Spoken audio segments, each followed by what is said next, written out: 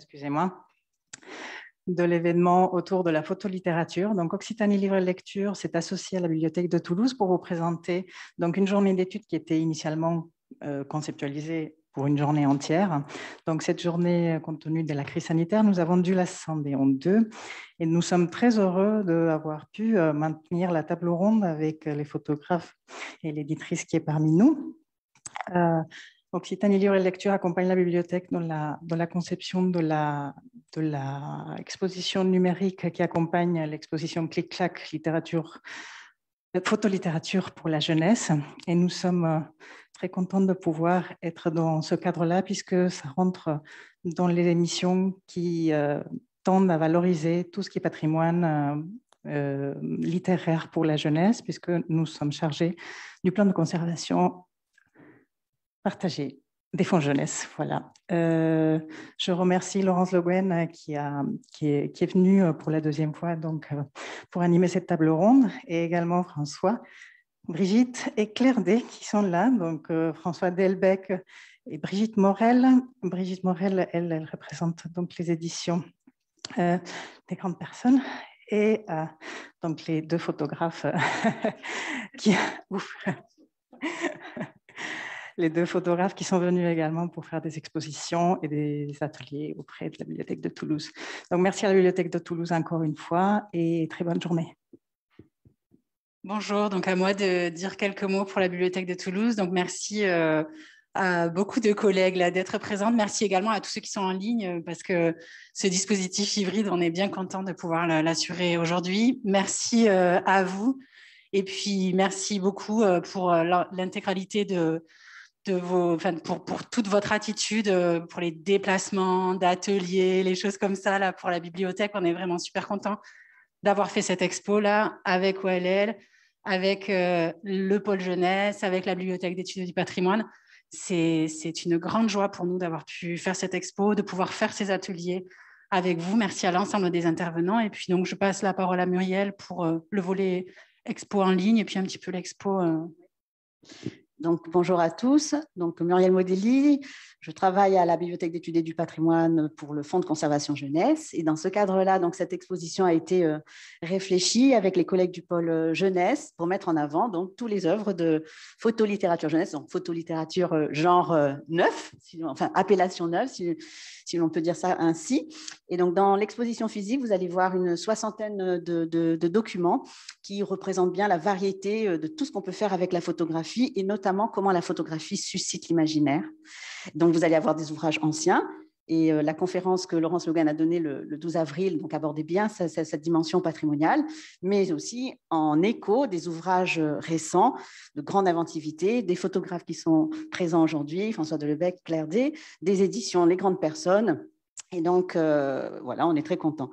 L'exposition numérique qui a été donc pensée n'est pas un reflet n'est pas le reflet total de, l'exposition euh, l'exposition physique, mais aborde, on va dire, quelque chose d'un peu plus chronologique. Et je vous invite donc à, aller voir cette exposition-là. Et je remercie d'ailleurs et François Delebecq et Claire D d'avoir accordé euh, des, interviews pour le volet parole de photographe, parce qu'il était pour nous très important de mettre en avant ce que pensent, ce que disent les photographes. Euh, donc, et donc, François Delebecq, d'ailleurs, c'était un article qui était paru dans, le site Minifleet de Laurence Le Guen, donc, qui nous a autorisé gracieusement à le mettre, à le relayer. Et voilà, et donc, euh, je vous souhaite une bonne matinée.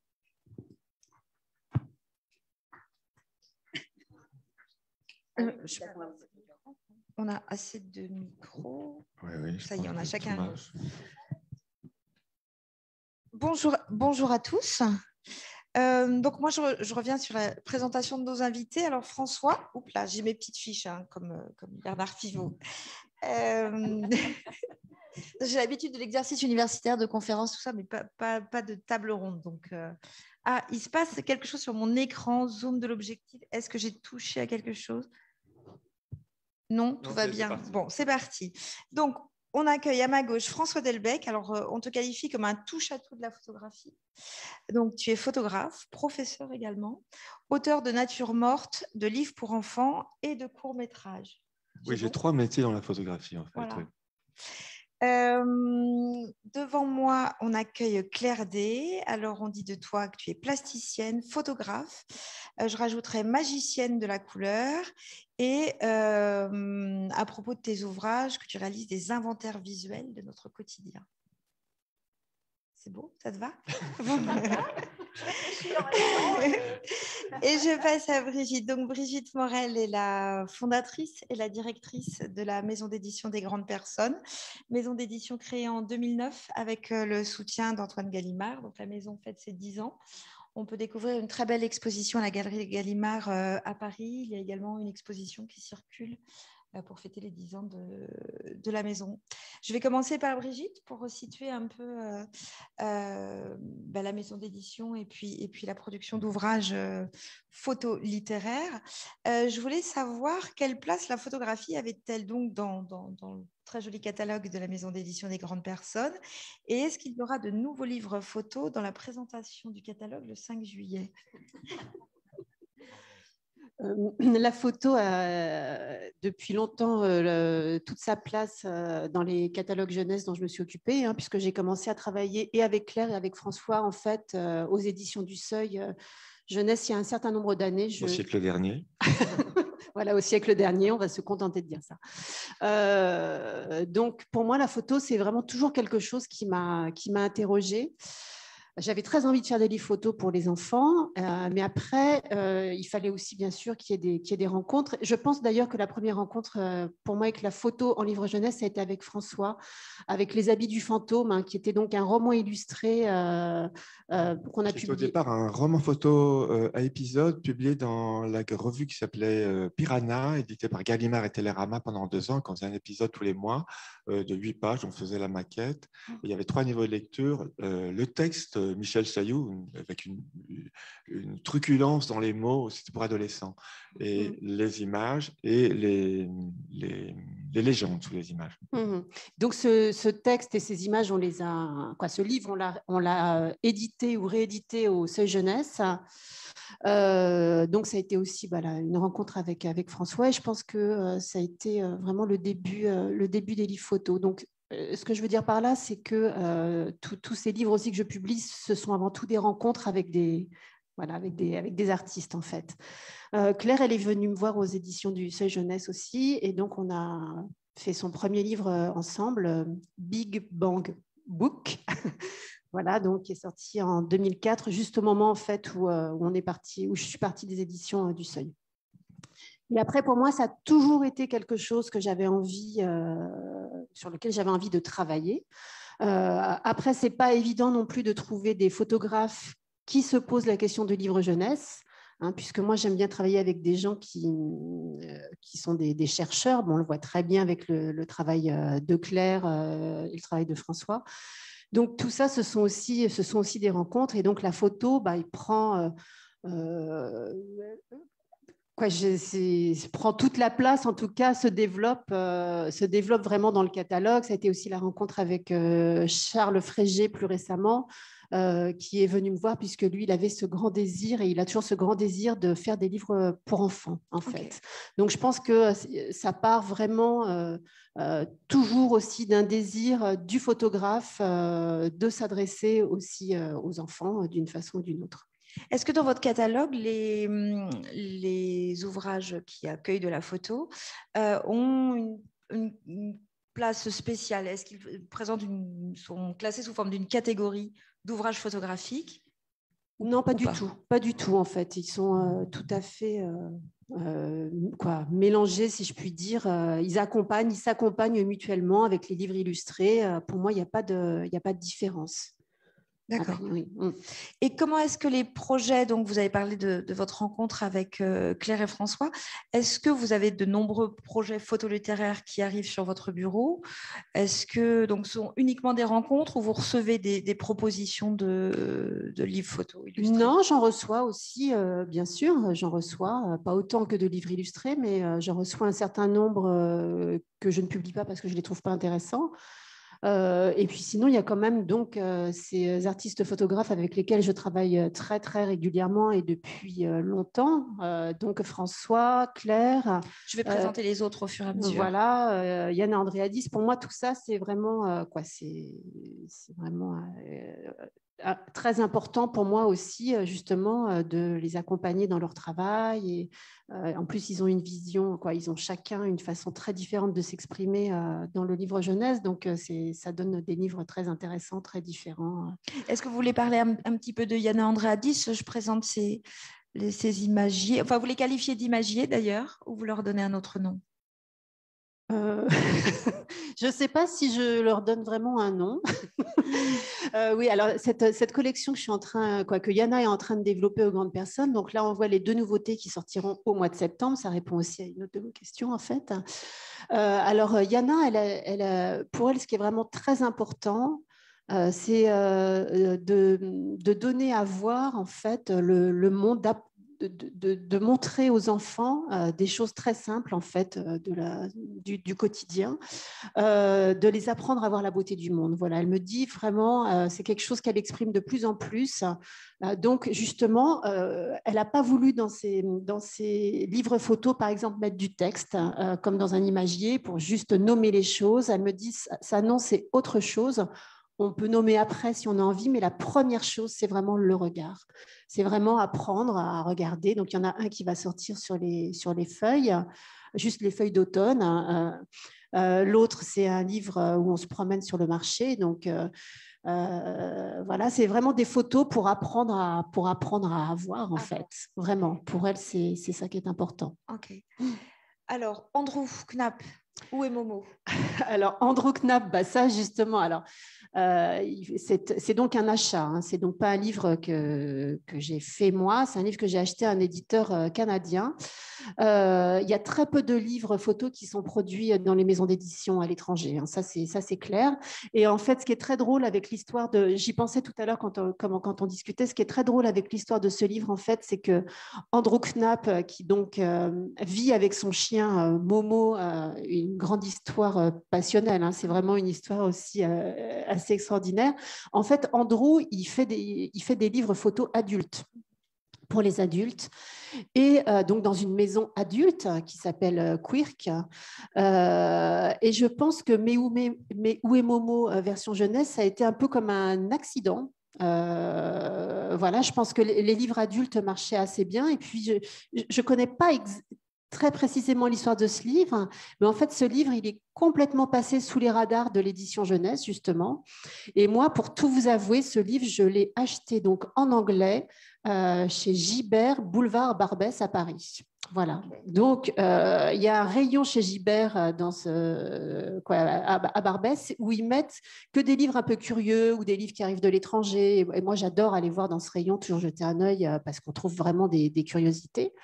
Et puis, je vois ce Méou et Momo, donc dans sa version euh, anglo-saxonne. Je me dis, oh bah tiens, c'est rigolo ce, livre euh, et tout.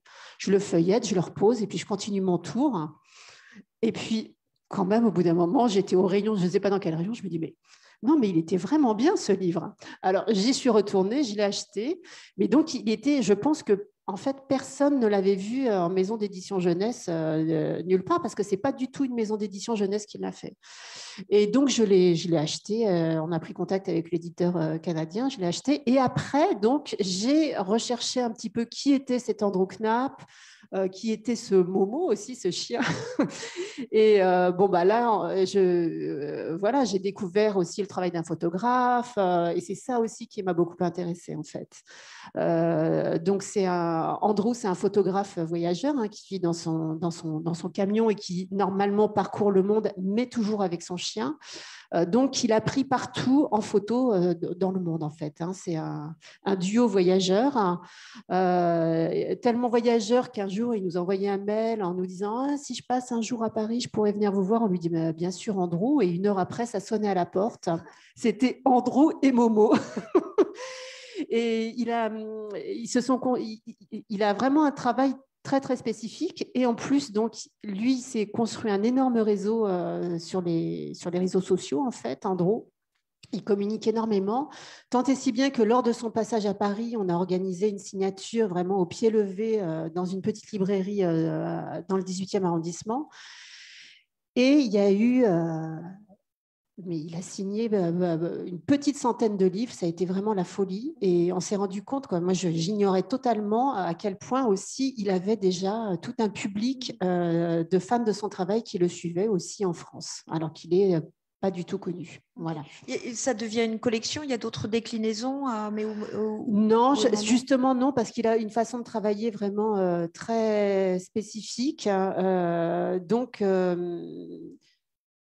euh, c'est pas du tout quelqu'un qui fait beaucoup de livres. Hein. Andrew Knapp, c'est vraiment, euh, voilà, c'est, euh, il a surtout une façon de vivre. Quoi. tout est tellement mêlé chez lui. Je, pense, je sais pas si on, il publiera énormément de livres, hein, mais voilà, c'est pas du tout cette idée-là en fait. Hein. C'est vraiment un nomade.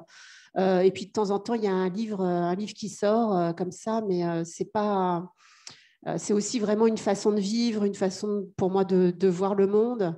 Et c'est drôle parce que je montrais, euh, quand j'ai sorti ce livre, je ne savais pas du tout le premier ce que ça allait donner, hein, parce que c'est vrai que voilà, c'était un peu, un peu décalé. Et puis euh, Francine Foulquier, qui est une spécialiste un peu du livre jeunesse, que, j'aime beaucoup, elle a regardé, puis elle me dit Mais il est tellement humain ce livre. Et j'ai adoré, adoré qu'elle dise ça. Voilà. Donc c'est encore une façon très spécifique euh, de travailler euh, le livre photo en fait pour enfants.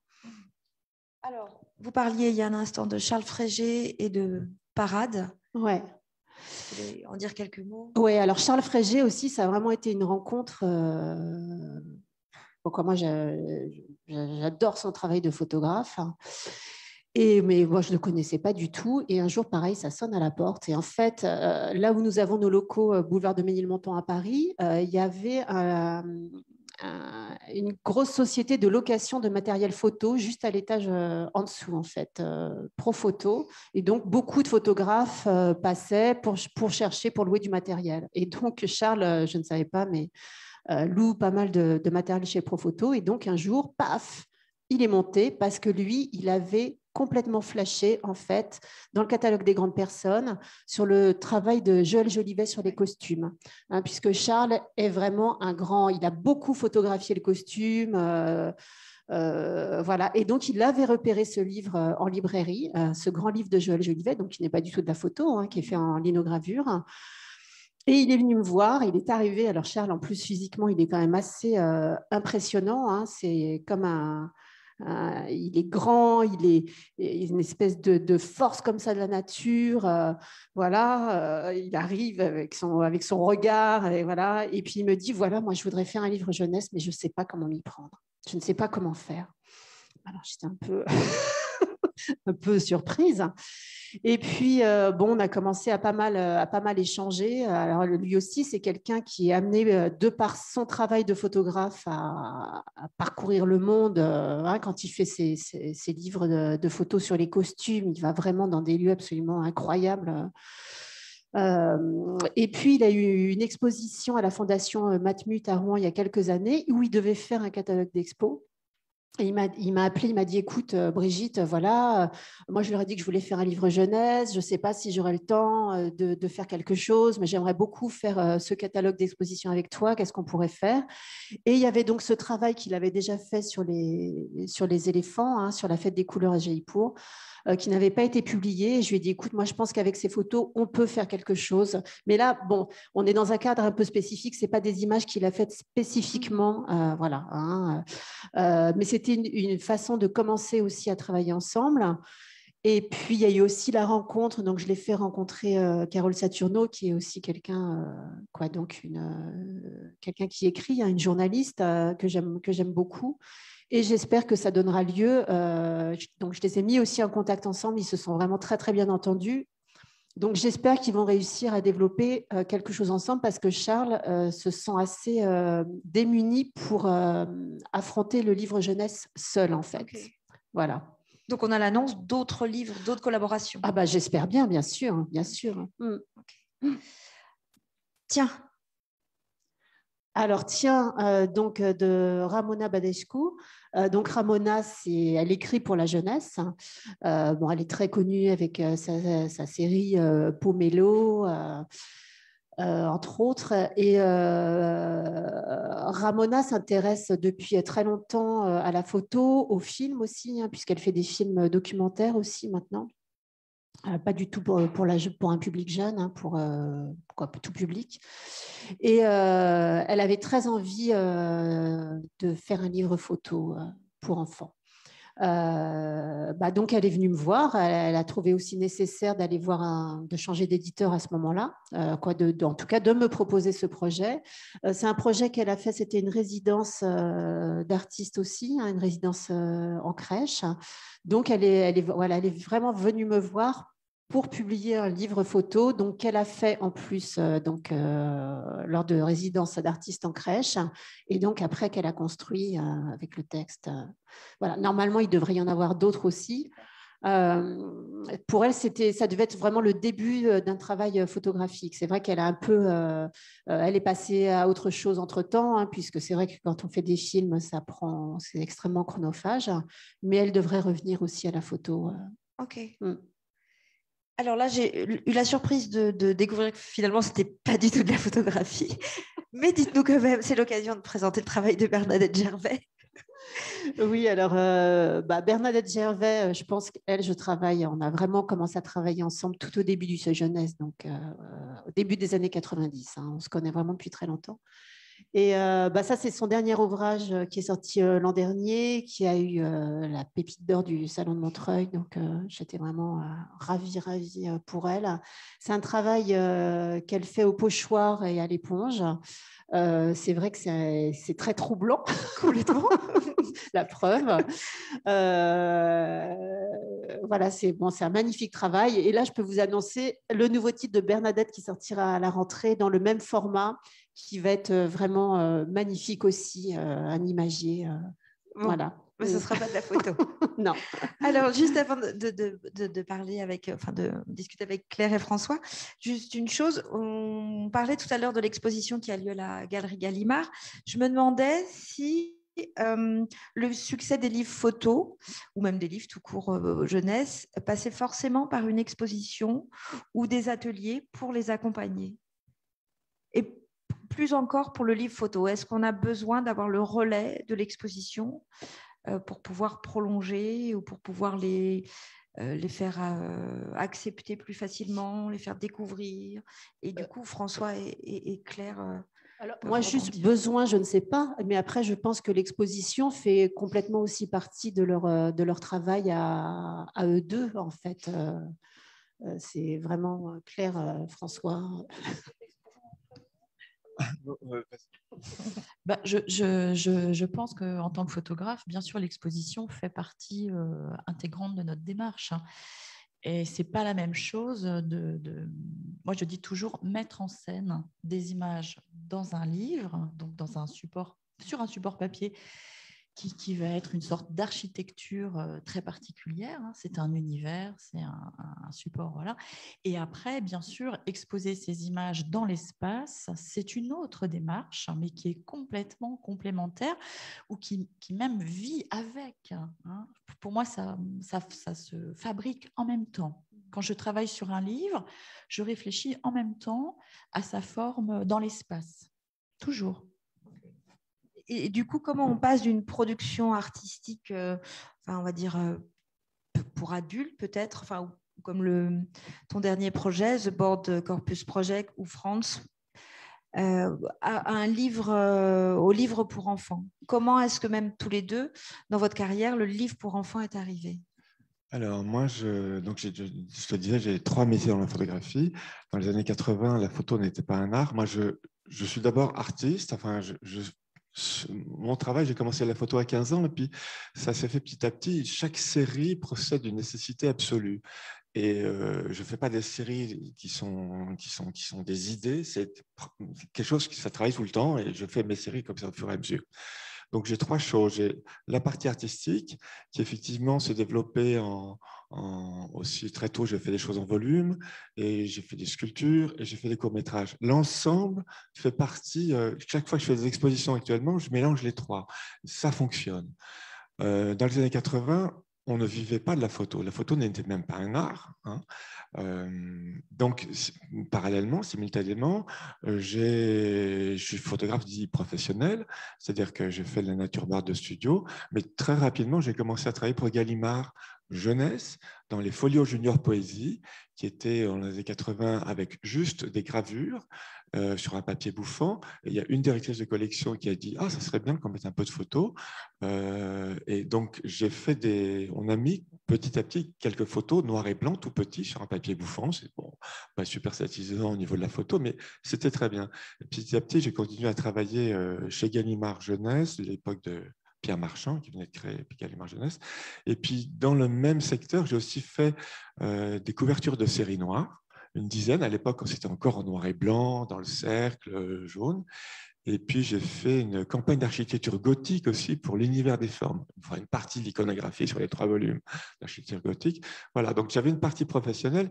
Et puis après, je suis aussi, pendant 25 ans, été photographe d'une revue d'informatique euh, en nature morte de studio, SVM Mac, jusqu'à ce qu'un truc qui arrive, qui s'appelle Internet arrive et que toutes ces, les, les, revues techniques sont, sont, euh, sont, arrêtées. Mais là, j'ai fait l'image photographique du journal, c'est-à-dire que je faisais les mises en scène à ma manière et ça allait très bien, enfin, ils étaient très contents. Et la troisième partie, donc effectivement, euh, après avoir fait le le roman photopolicier euh, avec euh, Michel Sayou. J'ai été voir Brigitte, qui venait d'éditer euh, là. Et puis, on, vraiment, c'est une réflexion à deux. On s'est dit, elle m'a demandé de, me montrer, de lui montrer mon travail personnel et je lui ai montré ce que je faisais. J'ai une écriture photographique narrative, effectivement, poétique, imaginaire. Et donc, on a commencé à faire, le, après les habits du fantôme, un travail sur la plage, celui sur la plage.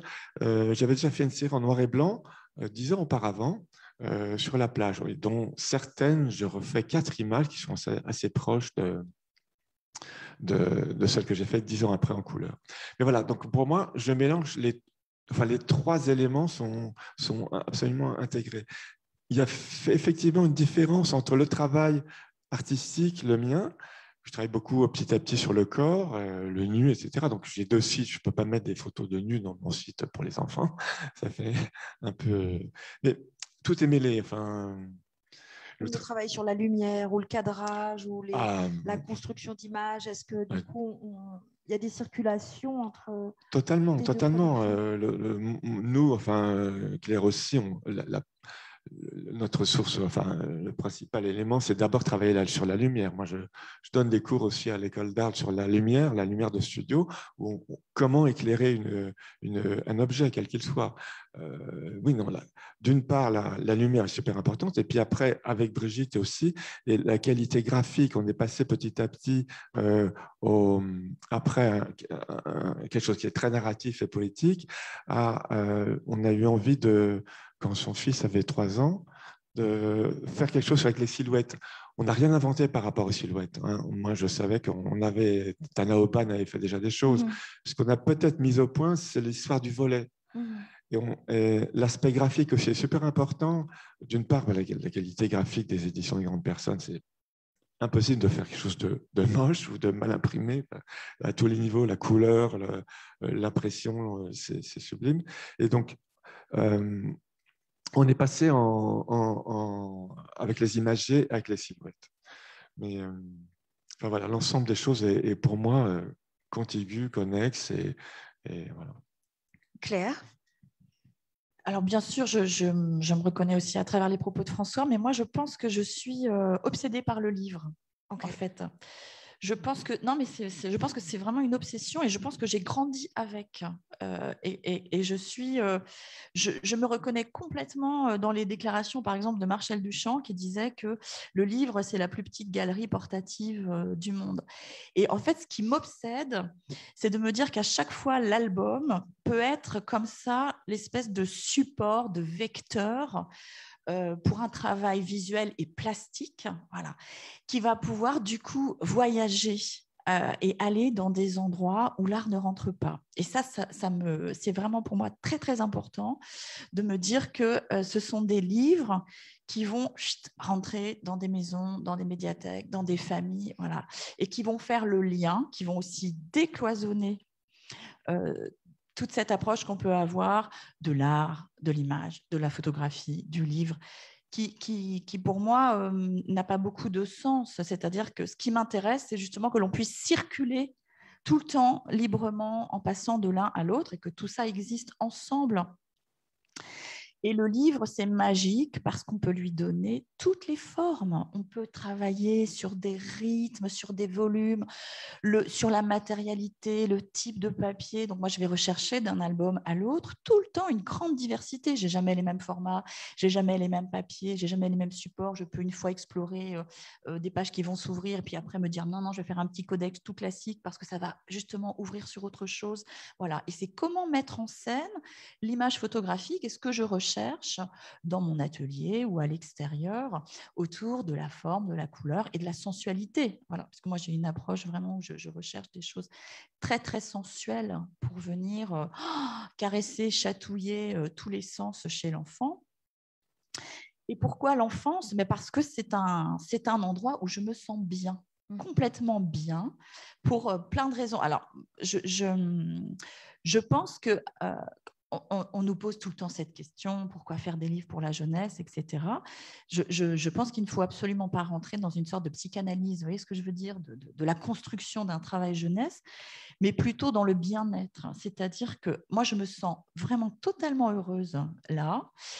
Et j'ai une passion pour l'enfant, pour l'enfance, pour ce partage, pour tous ces moments qu'on vit ensemble. Et c'est une nourriture aussi, parce qu'on a la chance exceptionnelle, je pense, François et moi, de rencontrer énormément d'enfants et de pratiquer énormément d'ateliers. Et moi, dans mes installations jeux, de les accueillir et donc de pouvoir voir ce qui se passe, de vivre les choses. Parce qu'un livre, on le publie, Brigitte le sort, et puis eh ben, il va vivre tout seul. Vous voyez ce que je veux dire? On n'apprend pas toujours ce qui se passe avec un album, euh, comment vont le lire euh, les, enfants, les adultes, les moments où on peut rencontrer notre lectorat, eh bien, ce sont euh, ces ateliers ou, ces rencontres professionnelles ou toutes ces expos qu'on peut mener où on va accueillir du public. Et là, là on les rencontre vraiment. Mmh Et ces temps-là sont très, très importants euh, ça conditionne jamais le suivant, mais ça me fait réfléchir à des choses. Ça me nourrit. Ça fonctionne comme un laboratoire. ça fonctionne tout le temps comme un laboratoire. C'est épuisant, mais c'est génial. Ouais. Voilà. C'est très fatigant. Moi, personnellement, ça me fatigue. On mais va en même temps, c'est génial. On va revenir sur ces ateliers. Euh, juste une chose, euh, compte sur tes doigts, imagine, devine, mmh. vous lancez un peu des injonctions à regarder ce qu'on a autour de nous. Euh, à regarder, oui, et bien sûr à regarder. Bon, alors ce sont trois, trois albums qui, euh, qui mettent en scène euh, la main. Donc là, l'idée, c'était vraiment de travailler autour d'une petite série sur le faire. Donc moi, ce qui, ce qui, ce qui m'intéresse, bien sûr, toujours, c'est comment on va inviter l'enfant à partir de l'image à faire et à expérimenter lui-même. Donc c'est comme une sorte de petit théâtre de la main où on sait tous que la main accompagne le développement de l'enfant pendant de nombreuses années et que la main chez l'adulte est essentielle, que ce soit dans l'artisanat, dans les gestes du quotidien. Sans main, on fait rien, on n'est rien. Et comment cette petite main va pouvoir nous, nous, guider vers un autre regard sur le monde, sur la beauté des choses, donc sur... Euh, alors, en tant que plasticienne, les matières hein, sont pour moi quelque chose de très, très important. Donc, imagine, c'est tout blanc. C'est vraiment une petite matériothèque autour de la couleur blanche et, le blanc me semblait être la couleur la plus ouverte sur l'imaginaire et sur la beauté dans le paysage. C'est-à-dire qu'est-ce qu'un bébé va regarder euh, dans le paysage euh, les premiers mois, les premières années quand on le balade en poussette, tout ça? Mais en fait, c'est le ciel. Hein. Il va voir le ciel, il va voir les grands espaces. on sait que la vue va se... D'abord, on voit les choses de très près, puis petit à petit, il va avoir la, compétence visuelle de voir des choses de, de plus en plus loin. Et, ce blanc dans le ciel, on s'est tous amusés à, regarder les nuages évoluer, à, voir les, choses changer. Et je suis partie de ça en me disant finalement, euh, euh, la matière la plus mouvante, celle qui se métamorphose le plus, ce sont les nuages. Et après, j'ai tiré un fil comme ça euh, sur toutes les matières blanches que l'enfant pouvait toucher, manipuler, et en ouvrant comme ça, comme un paysage tactile, et avec un rapport entre le geste, et un paysage, un paysage ou un morceau de corps, parce que le corps peut devenir paysage aussi. Voilà. Après, le, le, compte sur tes doigts, je dirais presque que le livre de comptage est un prétexte. Mmh. Euh, je pense que si, ma fille n'avait pas eu euh, euh, des difficultés, entre guillemets, en, grande section pour quantifier les choses, je n'aurais jamais fait ce livre. Ce qui m'a intéressé, non, non, mais c'est vrai, franchement, parce que j'ai abordé les choses, c'était très intéressant. Je me suis rendu compte que moi, ce que je faisais naturellement en tant que plasticienne, qui est toujours, par exemple, dans les constructions de, de mes albums, comme Ouvre les yeux, de rechercher des équivalences entre, euh, quand on construit une double page, la double page, c'est vraiment quelque chose de très important.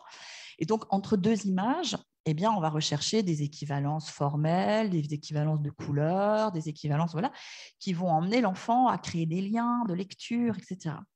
Et en fait, je me suis rendu compte que l'apprentissage en mathématiques, les premières années, ce qui était important, c'était créer des équivalences de volume. Parce que la comptine numérique, faire 1, 2, 3, 4, 5, 6, 7, 8, 9, 10, tous les enfants l'apprennent. Mais après, ce qui est difficile, c'est de dire que trois choses égale trois choses, quatre choses égale quatre choses. Et je me suis rendu compte qu'on faisait le même boulot, elle et moi. Et ça m'a fait réfléchir sur comment je pouvais faire un, petit livre qui mettait en scène tout un petit cabinet euh, de trésors euh, de, l'histoire naturelle en faisant des équivalences comme ça entre des pétales, des papillons, des cailloux, des feuilles, voilà. Et, j'ai trouvé ça très beau, comme une sorte un peu miniature. Vous voyez, je trouvais que c'était une façon de, de jouer avec des petits objets, des petites choses, des petites feuilles, comme dans Ouvre les yeux, mais complètement différemment. Et toujours avec cette main qui est pour moi comme un socle je l'utilise comme un socle pour présenter des choses très belles. Hein, voilà. Comme on peut avoir un petit socle dans un musée où on va mettre une petite statuette. Ou voilà. et, ça, c'est super parce qu'après, dans l'espace, on peut prolonger aussi euh, toutes ces choses autour euh, du donner à voir. Parce que dans un album, on est quand même dans une image. Donc, s'il y a profondeur, c'est profondeur de champ, c'est perspective. Quand on est dans l'espace, c'est tout à fait différent. L'enfant peut tourner autour des choses. Il peut faire le tour à 360 degrés d'un objet, d'un volume. Il peut manipuler. Donc, ce sont deux approches qui sont pour moi complètement euh, complémentaires. Et les, alors les, thèmes que vous pouvez aborder tous les deux, est-ce que, enfin, là pour le coup, euh, c'est né d'une relation avec votre fille et, du questionnement, voilà, d'un questionnement. Est-ce que euh, il y a une part d'intervention de l'éditrice pour le titre suivant, pour l'idée suivante, ou oh bien Oh non, oh non, oh non, jamais justement. Enfin, François, tu peux peut-être euh, parler ah ben avant nous, moi. Il y a complètement une part euh, de. C'est un travail en commun qu'on fait. Effectivement, pour, euh, quand on a commencé les, après la plage, le premier livre sur les silhouettes, on l'a fait sur les engins chantier. Donc, effectivement, là, c'était un, travail à deux. Je veux dire, l'idée ou le, le sujet, on, en parle tous les deux, et puis après, hop, on y va après les animaux, euh, les animaux sauvages, euh, oui, les, animaux de la ferme euh, aussi, c'est un, travail vraiment de collaboration, je dis. Puis après, dans le concret, les animaux de la, de la ferme, j'ai été écumer les fermes de Belle-Île parce que ma mère habite Belle-Île. Donc, les, animaux de la ferme, concrètement, il y a tous. Il y a la vache, le cochon, tout ça, dans, dans, le même endroit. Donc, physiquement, c'est ça.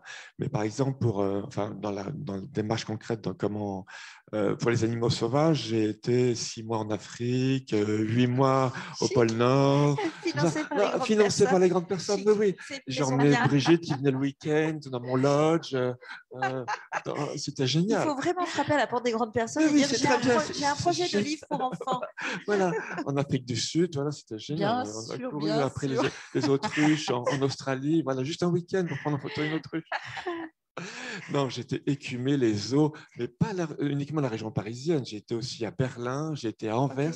Dans chaque zoo, il y a des animaux différents.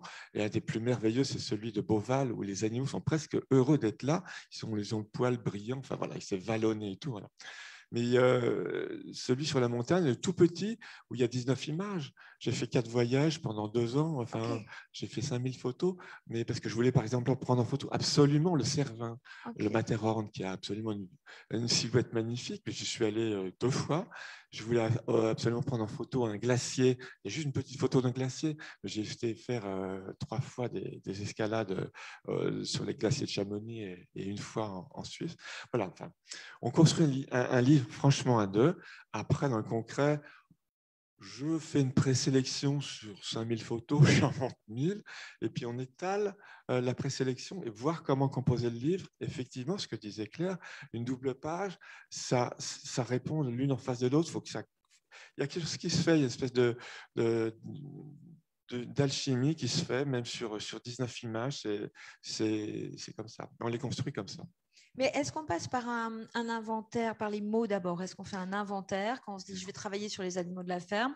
On pose sa feuille blanche, on fait une liste. Oui, on fait un, il faut que je euh, mette une poule, un canard, et etc. Ouais, enfin, ou- pour, le, pour, pour les animaux de la ferme aussi, il y avait le truc de base, effectivement.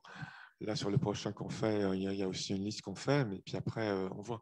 Et puis, le chose avec, avec Brigitte, c'est qu'on fait le livre quand il est prêt.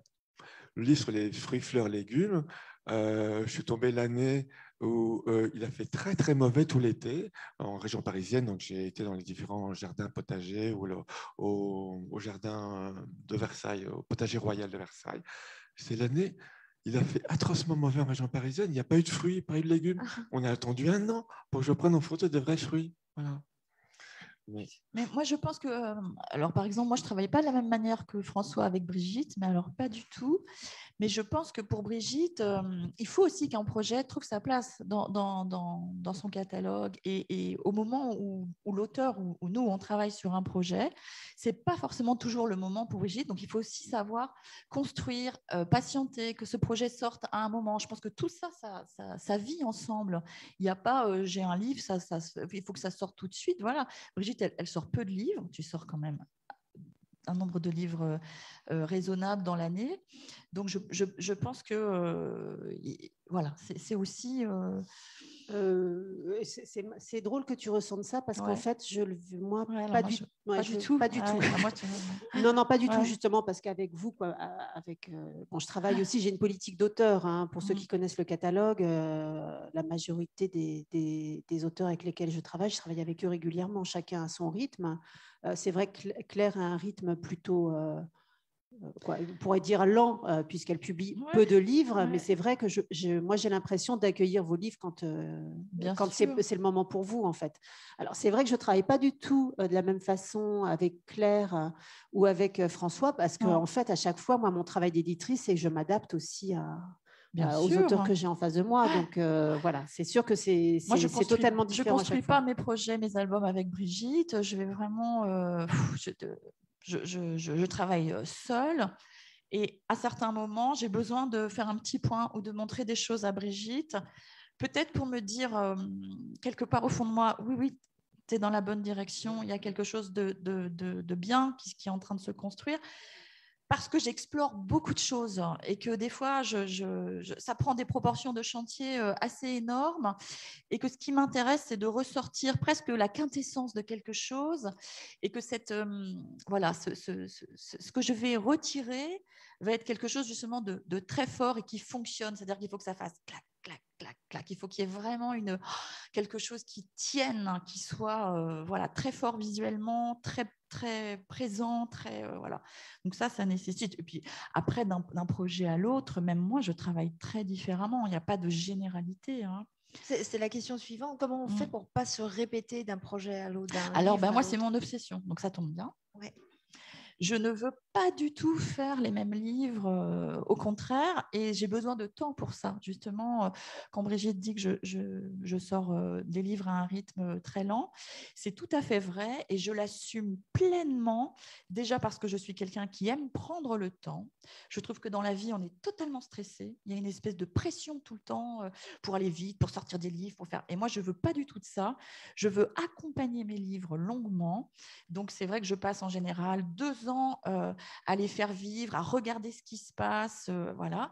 Et pendant tout ce temps-là, se construit les prochains. C'est-à-dire que très souvent, quand je travaille sur un album, le travail de recherche sème déjà plein de graines pour d'autres livres. C'est-à-dire, je me rends compte que oh, là, il y a quelque chose de super que je pourrais explorer. Voilà. Donc, je mets ça de côté. J'ai des piles de petites pochettes avec des idées, des feuilles, des choses que je note qui sortent comme ça. Des, Et puis, à un moment, bah, je sais que ça va être le moment de m'attaquer à ça. Voilà. Donc, c'est des étapes, c'est plein de, choses. Et puis, je pense que, euh, franchement, avec beaucoup de modestie, je pense qu'aujourd'hui, il y a une production euh, éditoriale énorme et que quand on sort un livre, pour moi, bah, il faut que ça ait vraiment un intérêt, il faut que ça ait du sens, et il faut que je puisse aussi euh, accompagner euh, cet ouvrage avec tout un développement d'expo, d'installation, et que ce soit porteur de quelque chose. Parce que si c'est juste pour sortir un livre, ça n'a pas beaucoup d'intérêt. Voilà, pour moi, il faut vraiment que ça aille au-delà juste de je sors un livre c'est ce que je me enfin, posais comme question. Est-ce qu'il euh, il y a une énorme production d'imagiers Comment on arrive à se démarquer dans, dans la production euh, actuelle euh, d'imagiers bah, En étant soi-même, tout simplement. Hein. Oui, c'est ça. Il faut, parce que chaque fois que j'enseigne, je dis à chacun, à chaque élève, soyez unique. Vous êtes unique, respectez votre unicité, développez votre unicité. Quoi même si nous, avec euh, les imagiers qu'on fait avec Brigitte, on, a quand même un esprit de collection, c'est vrai que... J'aime pas ce mot d'imagier. Pas trop, moi non plus. Oui, je sais bien. J'en fais exprès. Alors, vous les appelez comment, vos livres Claire, s'ils ne sont pas des imagiers, quels... Euh, euh, moi, je dis des albums. Des albums. Je dis toujours des albums. OK. Je trouve ça beaucoup plus intéressant. sinon, comment fait-on pour se démarquer? Moi, je pense, quoi, c'est ce que je ressens de, de plus en plus aujourd'hui, euh, de plus en plus fort en fait, c'est que vraiment de plus en plus il y a des éditeurs euh, euh, qui cherchent, qui créent, qui essayent de trouver des nouvelles pistes. Et puis, bah, c'est un peu difficile à dire, mais dans certaines maisons d'édition, on se contente de regarder les listes de meilleures ventes ou de voir les trucs qui marchent et puis de, copier. Ça, semble dingue, mais il y a quand même pas mal de maisons d'édition qui fonctionnent comme ça. Et c'est vrai que, par exemple, les livres de François, on a vu des copies euh, absolument incroyables, notamment en Angleterre, mais un truc de dingue. Euh, alors, c'est toujours compliqué quand un livre. Alors, les Anglais, c'est quand même les pros hein, pour, euh, pour copier, en fait. Euh, c'est difficile, mais bon, euh, nous, on se rend compte, hein, parce que euh, le nombre de fois où on fait des éditeurs au moment des foires internationales qui veulent absolument avoir, des éditeurs anglais qui veulent absolument avoir un rendez-vous avec nous, venir voir nos livres, qui jamais vont rien nous acheter, mais on voit un an après vraiment le petit frère de, du livre qu'on a montré. Et les livres de François ont été énormément copiés. Il y a un éditeur qui a sorti exactement la même, la, même série. Quoi. C'est un truc de dingue. Alors, nous, notre, quand on voit ça, c'est très compliqué de réagir parce que se, lancer dans des procès internationaux qui vont durer. Voilà, donc on se contente généralement d'appeler ou d'envoyer une lettre d'avocat. Et surtout, notre grande erreur, c'était de voir si ces livres n'allaient pas sortir, être achetés par un éditeur français. Ah, donc sortir aussi en France. Euh, voilà, donc sans arrêt, on essaye. Euh, là d'ailleurs, François, il n'y a encore pas longtemps, nous a apporté des livres euh, qui c'est vraiment voilà. Mais de plus en plus, quand même, l'édition, quoi, je pense que ça, a toujours été comme ça, hein, quelque part, mais, mais là, vraiment, on se rend compte de plus en plus qu'il y a des, éditeurs qui essayent de créer des choses, et puis après, bah, quand, il y a des choses qui marchent, euh, bah c'est recopié euh, plus ou moins bien. Euh. je, pense qu'on a. Moi, je me pose jamais la question de est-ce que ça va marcher? C'est une question qui, qui n'a pas de sens, par exemple, dans la façon dont je travaille. Si ça marche, bah, tant mieux et c'est génial. Mais la question que je vais me poser quand je travaille sur un album, c'est qu'est-ce que cet album va apporter aux enfants qui vont le manipuler, qui vont le regarder, qui vont voilà. Et qu'est-ce que cet album va pouvoir oh, leur faire découvrir, leur donner à voir, à jouer, à voilà où ça va les emmener? Qu'est-ce qui va se passer? C'est ça la question clé pour nous. C'est pas euh, qu'est-ce que voilà, est-ce que ça va bien marcher? Ça n'a aucun sens. On peut, on peut pas. Euh, personne ne sait à l'avance ce qui va se passer euh, sur le succès d'un album. D'autant plus que ni François ni moi ne construisons un, un travail à partir de narrations classiques, à mmh. partir d'histoires. Voilà, on est dans un autre champ complet donc, on explore euh, les narrations ou, la construction d'un album complètement différemment. Donc, voilà. Il y a autre chose qui vous démarque aussi dans la production euh, livresque, c'est l'aspect artistique aussi qui est très important dans vos livres. On parlait d'artichaut tout à l'heure et je vous disais que je l'avais trouvé, euh, pas moyen de le trouver sur Nantes, sauf à l'école des beaux-arts. Oui, oui, ah, bon, alors là, c'est l'exemple extrême, hein, mais ce que, je, je, vous racontais, Laurence, c'est qu'en fait, Artichaut, pour moi, les plus beaux retours que j'ai eus sont des retours de crèche, hein, par exemple, où, j'ai des, des, personnes en crèche qui, qui, me racontent comment les bébés sont fascinés et comment ils vont écarquiller les yeux sur, sur les doubles pages avec les tomates, sur voilà. Alors, Comment aborder tout ça? La question est simple, c'est que pour moi, un livre, c'est comme l'auberge espagnole, c'est-à-dire que chacun va y prendre la nourriture dont il a besoin au moment où il va découvrir un livre. Et un livre comme Artichaut, c'est autant un livre pour des bébés qu'un livre pour des plus grands, qu'un livre pour des adultes, et que la lecture, c'est aussi du plaisir partagé, et que on, le sait tous. Euh, L'adulte qui va acheter le livre pour l'enfant est un, adulte, c'est lui le prescripteur, c'est lui mmh. qui va choisir. On a tous vu des scènes, même sur les salons du livre, où l'enfant fonce sur un livre et le parent dit non, non, non, pas ça, mais prends ça. Voilà, on a tous vécu ça. On sait à quel point c'est l'adulte qui va orienter le choix. Mais moi, je pense qu'il faut faire aussi énormément confiance aux enfants sur leur capacité d'ouverture et sur leur capacité à découvrir. Les premières années de la vie, c'est des années de découverte plein pot dans tous les sens. Ils sont avides de, toucher, de regarder, etc. Ils ont la même relation au livre. Donc, il faut au contraire leur donner une, énorme diversité d'images, de livres à cet âge-là. C'est constitutif. Moi-même, j'en suis le fruit. Si on m'avait pas offert certains livres que j'ai eus enfant, je ne serais peut-être pas ce que je suis aujourd'hui. Moi, j'ai eu la chance d'avoir un très joli livre enfant qui a été réédité récemment euh, aux éditions Mémo. Mmh qui, s'appelle, euh, je ne sais plus, 13 000, un, un, jeu de forme, de couleurs, euh, voilà, qui est un petit livre combinatoire. Voilà, qui avait été sorti à l'époque chez Damas Édition en sérigraphie, hein, et qui a été euh, repris ensuite à l'école des loisirs, hein, dans les premières années de l'école des loisirs, puis il a récemment réédité. J'ai eu ce livre, mes parents me l'ont rapporté de Paris, j'avais 5 ans. Je ne savais pas lire. J'ai joué avec ce bouquin pendant des heures. Je ne comprenais rien, mais j'ai eu un tel plaisir, c'est-à-dire une telle augmentation intérieure. Vous voyez ce que je veux dire? C'est-à-dire qu'un livre, c'est ça. Ça doit créer une sorte de, de bonheur à l'intérieur. Voilà, partie, nous faire vivre des expériences de couleurs. Voilà, la magie de la couleur, la magie des formes, le bonheur de la manipulation, du jeu. J'en ai un souvenir incroyable. Et j'ai redécouvert ce livre 30 ans après, je l'avais complètement oublié. Et je me suis dit, waouh, c'est incroyable. Et moi, j'ai eu des livres photos enfants aussi. On a, on a peut-être partagé tous ça.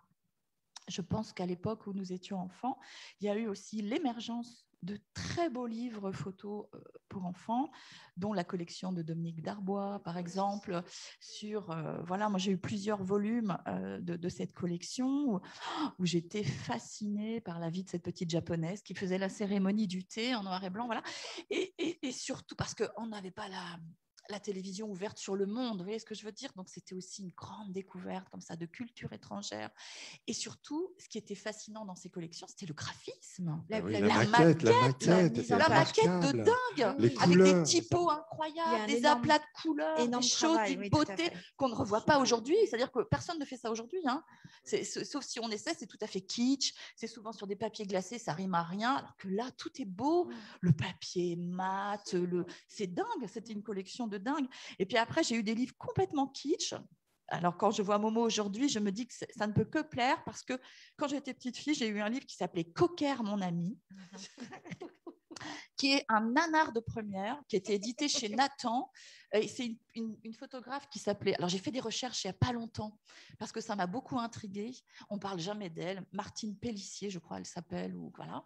C'est une illustre inconnue. Elle est reconnue nulle part. Et ben moi, je peux vous dire que mon ami Cocker a été pour moi un choc. Voilà. C'était de la photo? C'était de la photo en couleur, et c'était l'histoire d'un chien euh, qui faisait tout. C'était le quotidien d'un chien dans des mises en scène complètement euh, kitsch et rigolotes, où voilà, il jouait avec le tuyau d'arrosage dans le jardin, il fêtait la galette des rois, euh, voilà. Et, les images sont, mais gnangnan, je sais pas comment vous dire. Et moi, je trouvais ça génial parce que je voyais ce chien, c'était presque mon ami. Voilà. Et c'est des moments inoubliables. Je sais pas, j'ai vu ce livre, j'avais 4-5 ans et je l'ai encore, je l'ai gardé. Vous parliez de faire confiance, euh, faire confiance aux enfants. Ouais. Euh, moi, j'ai constaté en, écrivant cette thèse sur le livre photo illustré que euh, souvent le prescripteur, donc l'adulte, les, les, les, éducateurs, les enseignants n'aiment pas mettre de livres photo dans les mains des enfants sous prétexte que la photo ne serait pas pour lui. Et donc, c'est faux quand même. Voilà. Alors moi, je voudrais bien revenir là-dessus parce que c'est faux. Alors moi, je, je, nuancerais vraiment les choses. Je pense qu'en maternelle, le livre photo a pleinement sa place. Il existe complètement. Moi, je vois partout dans les maternelles où je vais et on en écume. Euh, je vois des albums photos partout.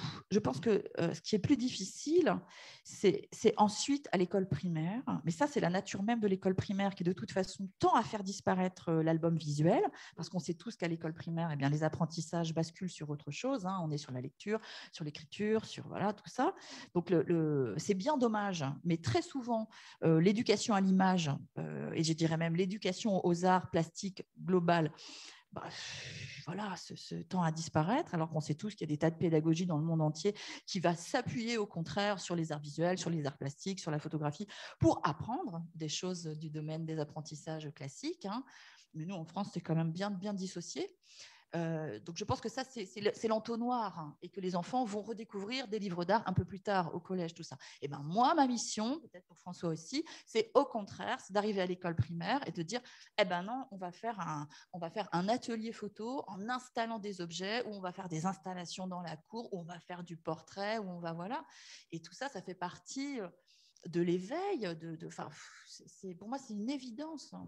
Mais tant qu'on reste dans la présentation du monde, euh, il me semble que euh, la photo euh, est légitime auprès des parents et aussitôt qu'on aborde la fiction, ça devient plus compliqué. Je voulais savoir, François, si tu avais eu du mal du coup à faire accepter les songes de l'ours ou la plage où les bateaux s'envolent ou les habits du fantôme?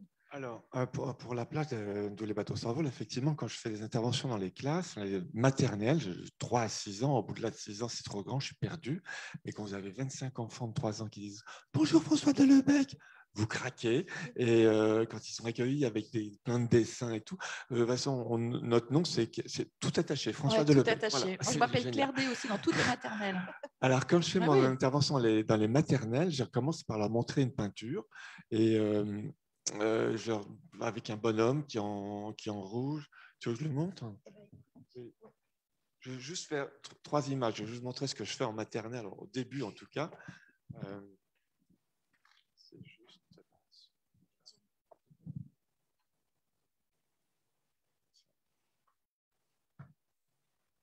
je commence par leur, je commence par leur montrer un bonhomme comme ça pas en photo. Donc, c'est vraiment c'est un bonhomme qui a une tête orange, une grosse tête. On ne sait pas si c'est un garçon ou une fille. Donc, les petits me demandent, je leur demande, c'est un garçon ou une fille?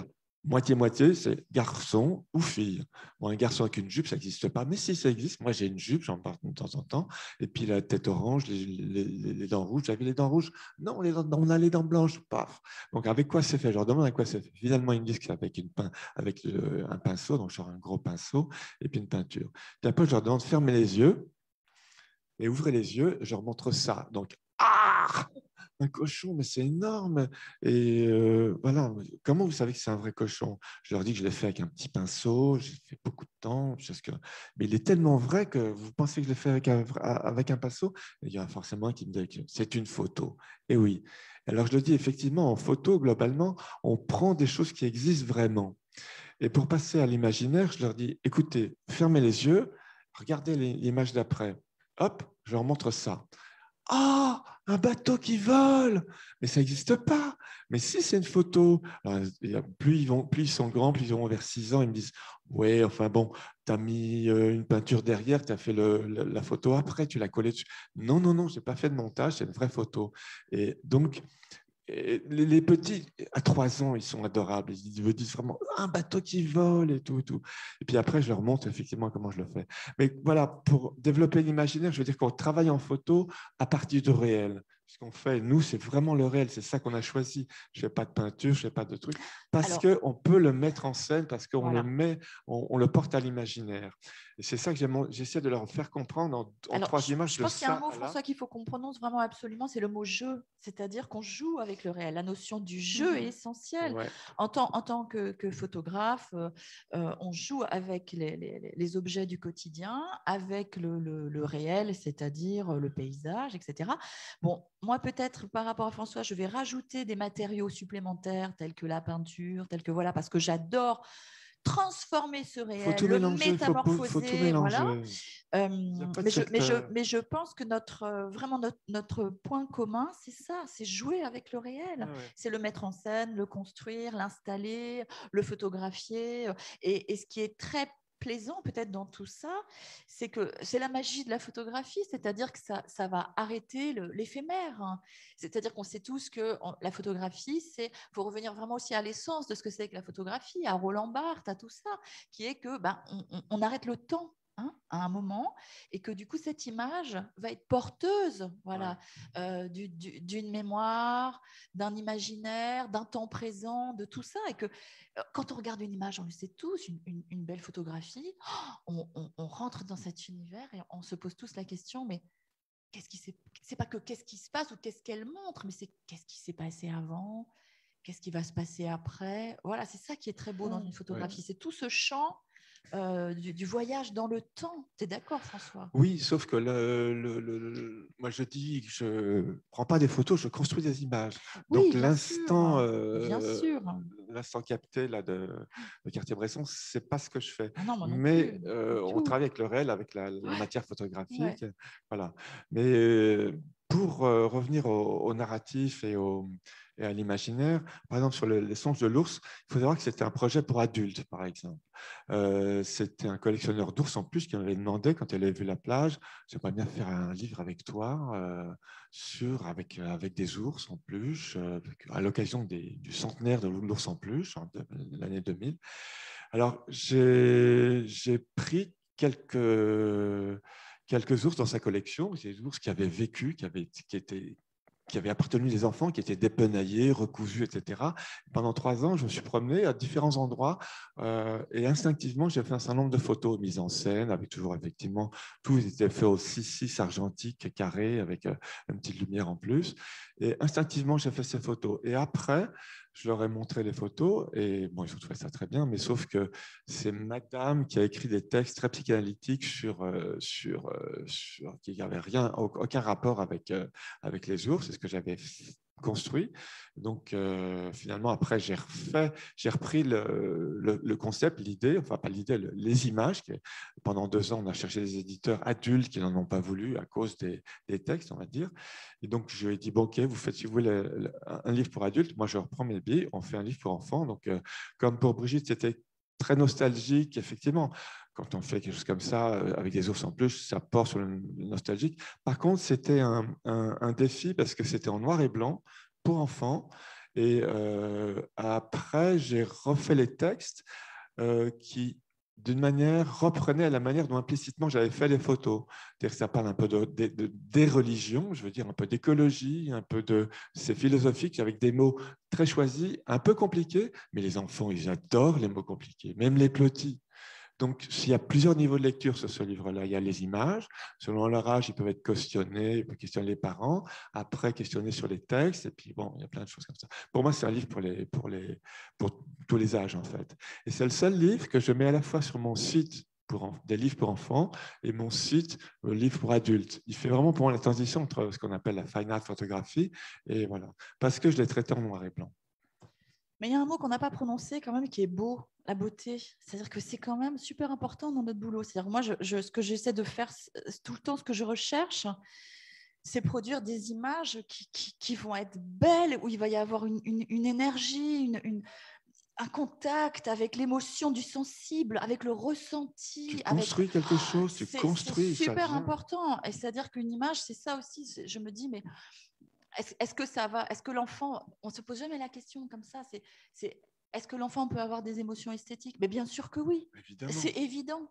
Euh, qu'est-ce qui va se passer à ce moment-là? Moi-même, je l'ai vécu enfant, donc je, sais pertinemment et, on, on, le voit, mais je pense qu'on s'autorise pas suffisamment à se dire que euh, la découverte d'un album ou, la lecture d'un album avec un enfant, ça peut être totalement et pleinement et uniquement une, expérience euh, voilà, du sensible, de l'émotion, du voilà, et qu'il n'y a pas besoin forcément de parler, de jacasser, de raconter une histoire. Les choses vont se vont s'exprimer naturellement, les choses vont, voilà, l'enfant va, va nommer, va dire, va gazouiller, va voilà, et tout ça, c'est magique, c'est un discours magique, tout simplement. C'est la question que je voulais vous poser. Comment vous imaginez vos lecteurs, tous les deux, euh, avec vos livres entre les mains? Je les imagine pas comme ça. C'est, En fait, je, je, me pose toujours la question inverse, qui est est-ce que là, il y a suffisamment de choses pour déclencher une émotion ou pour déclencher un, quelque chose de, visuel, de tactile, de... et puis un questionnement? C'est-à-dire qu'un livre, pour moi, c'est presque un moteur à questionnement. Je préfère qu'un enfant dise qu'est-ce que c'est ou c'est quoi ça ou voilà plutôt que de nommer et dire euh, tasse etc non ce qui m'intéresse c'est de, le mettre dans la posture où il va s'interroger et où même l'adulte va des fois être comme ça en disant c'est quoi ça? Voilà.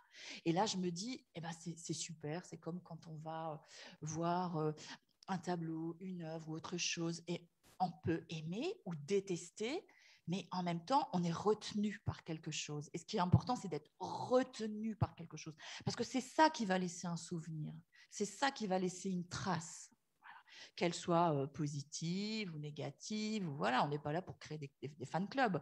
On est là pour faire des, albums qui vont capter à un moment l'attention, l'émotion. moi, j'ai beaucoup, de retours, effectivement, sur les réseaux sociaux de temps en temps, et, des petites images ou de, des lecteurs, enfin des parents qui envoient des photos des petits, mais, mais, un an, un an et demi, qui sont en train de regarder, regarder encore, encore, encore le même livre. C'est absolument adorable. Quoi. Par contre, sur les, les songes de l'ours, là, j'ai pas eu beaucoup de. il, est compliqué. C'est plutôt les, justement les bibliothécaires qui, le mettaient en avant et qui euh, faisaient solliciter l'interrogation, l'interrogation des enfants.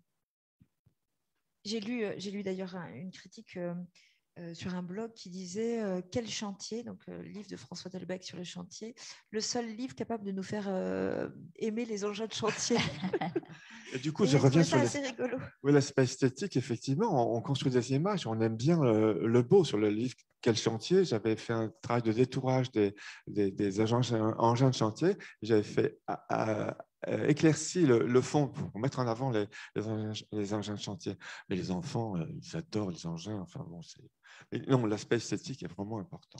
la question, ce n'est pas les engins, c'est comment montrer les engins. C'est-à-dire que toute la question est là. C'est-à-dire qu'on peut faire, on peut faire. Il y a des livres sur tous les sujets et, il en existe. Euh, voilà, vous allez dans n'importe quelle médiathèque ou librairie, vous allez vous apercevoir qu'il y a tant de livres sur tel sujet, sur tel sujet. La question, c'est comment vous donner à voir euh, ça, cet univers, quelle représentation vous allez en donner, et, surtout qu'est-ce que l'objet livre va euh, proposer? C'est-à-dire au-delà des yeux. Je, pense que la lecture, c'est pas que les yeux. La lecture, c'est tout le corps, c'est tous les sens, c'est l'émotion, c'est le cerveau, c'est voilà, vraiment tout, tout. Alors justement, parlons de vos installations. Est-ce que les installations sont des euh, moyens de plonger dans le livre à taille réelle ou bien donc du coup des, un laboratoire euh, d'invention C'est plutôt un laboratoire, c'est-à-dire que les installations jeux que je développe, alors il y a quelques euh, images là. Alors j'ai choisi de vous montrer des images où bien sûr il n'y a pas les photographies, mais elles sont toujours là. C'est-à-dire que c'était peut-être pas intéressant de vous montrer des, images de photos mises sur des murs ou mises en scène. Donc en fait, dans, toutes ces installations jeux, il y a bien sûr la présence des images, des photographies qui vont être très souvent en grand format et qui parfois accueillent davantage d'images qu'il n'y en a dans les albums. C'est-à-dire que ce qui est très intéressant de montrer à des enfants aussi, c'est que un album va être aussi un choix, une sélection, une construction à partir d'images, mais que pour obtenir ce choix, il y a eu un travail beaucoup plus vaste. Voilà. Donc, il y a souvent beaucoup plus d'images en très grand format parce que ce qui est important, c'est d'inverser le, rapport du corps à l'image. Dans le livre, ce que je dis souvent, c'est que même si on fait un gros livre, le corps de l'enfant est plus grand que l'album. Alors que dans une exposition, on peut totalement inverser les choses et l'image peut devenir plus grande que le corps de l'enfant. Donc, on, le sait tous, nous, qu'on ne regarde pas les images de la même manière quand elles sont dans un livre où on va regarder le mouvement, ça va être ça. Et dans une expo, c'est ça. Déjà, le corps et pas du tout positionné pareil. Et ensuite, ce que je peux proposer euh, vraiment, eh ben, là, c'est mon travail de plasticienne, c'est-à-dire que ce qui m'intéresse, c'est que tout ce que j'utilise, moi, pour créer mes images en termes de matériaux, que ce soit euh, des, objets, du support, du, bois, du tissu, etc., ce qui m'intéresse, c'est que les enfants puissent les manipuler, les toucher, les installer eux-mêmes et développer, du coup, euh, des images, des volumes éphémères qui vont s'installer dans l'espace et c'est super important. Et, avec des bébés, c'est absolument euh, génialissime.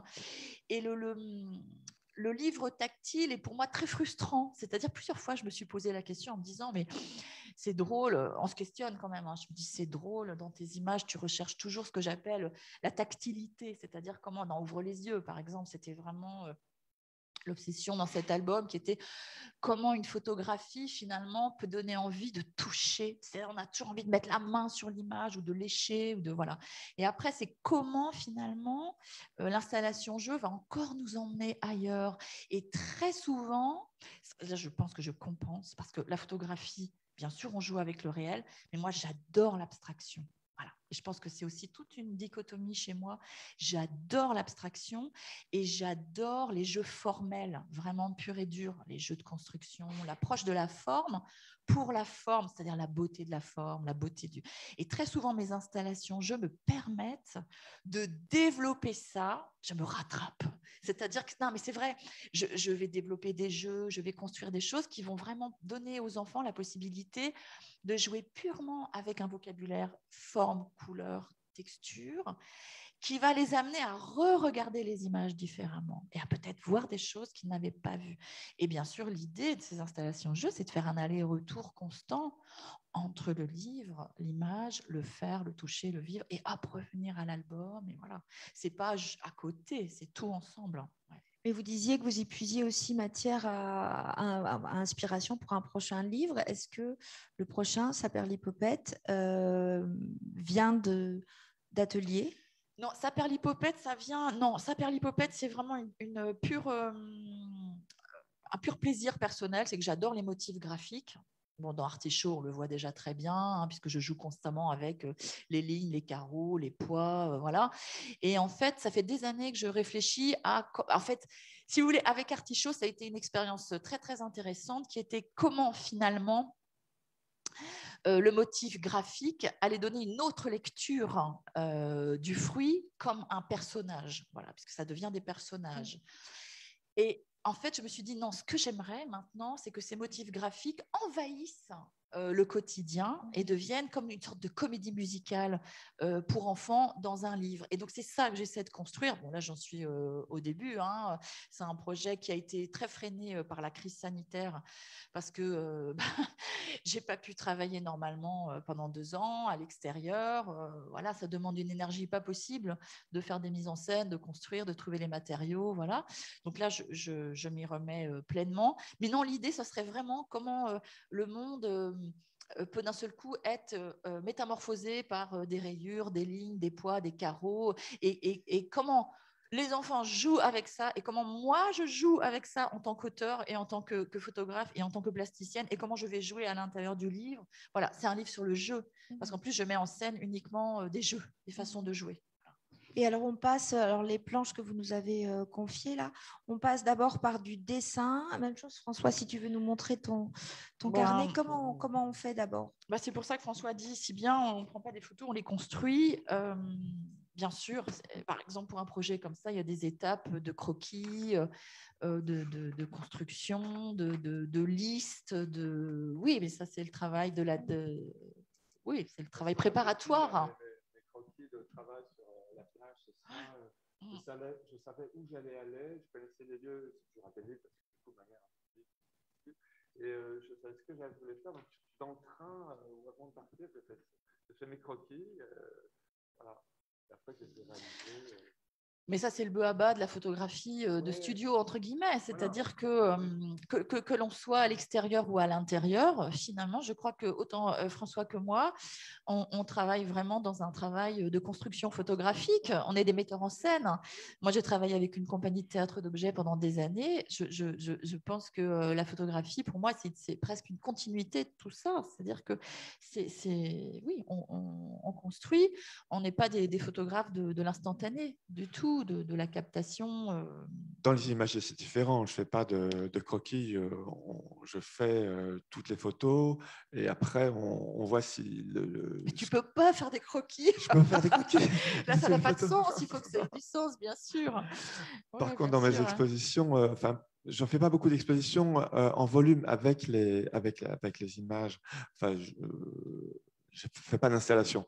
Par contre, dans mon travail personnel, effectivement, où je mélange photo, sculpture et court-métrage, euh, la dernière grosse exposition, j'ai fait des, machines qui roulent au départ pour les transports amoureux, les transports de l'âme. Mais c'est des choses en acier avec euh, la plus grande fait 6 mètres de long, il y a une cage dedans, enfin, et c'est très ludique. Et la dernière exposition, j'ai fait effectivement des ateliers avec des enfants qui jouent avec dans, les, euh, dans, la cour, cours du centre d'art dans lequel j'ai fait.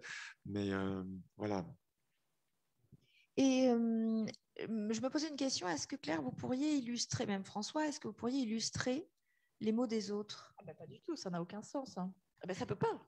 En fait, ce n'est pas que je, ne veux pas, c'est que ça ne peut pas.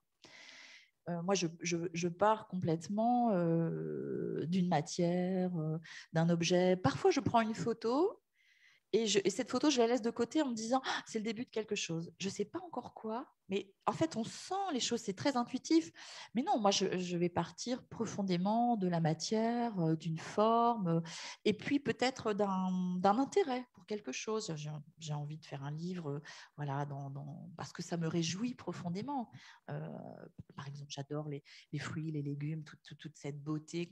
C'est totalement esthétique, c'est tellement beau, naturellement, que voilà, on se dit, mais c'est c'est ça, oui, partager ça avec des enfants, c'est capital. Voilà. Et puis après, on, va là où, on est.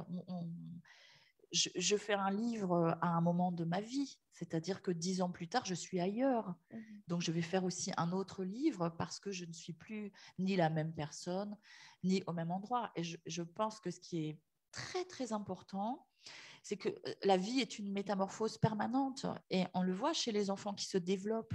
On voit à quel point ils changent les premières années, à quel point, euh, voilà. Et moi, je conçois ma vie comme ça. C'est-à-dire qu'il faut que les choses évoluent, changent, euh, que je puisse me nourrir, que je puisse, voilà, changer, évoluer, me métamorphoser. Sinon, ça serait d'un ennui profond. Et sinon, je pense qu'on n'aurait pas cette cette capacité à vouloir transmettre ça aussi aux enfants, qui est, qui est regardez, découvrez, foncez, prenez du plaisir, surtout ouvrez toutes les petites portes, toutes, les petites fenêtres en vous pour pouvoir vivre le maximum d'expériences sensibles, esthétiques. Pour moi, c'est ça aussi un livre. Hein. Euh, c'est une invitation euh, à l'ouverture. Et moi, je pourrais euh, travailler sur un texte. D'ailleurs, j'ai animé il y a très très longtemps un atelier sur le texte et l'image. En photo, on partait, de, euh, d'une nouvelle de Leclésio et tout le monde l'a interprété à sa manière. Peu importe s'il y avait le texte ou pas, son image euh, ou pas, c'était très intéressant. Par contre, pour les habits du fantôme, par exemple, là, on a travaillé à deux et simultanément. Euh, c'est-à-dire que Michel Saillou avait établi la trame narrative, une disparition dans une pension de famille, et, et moi, j'ai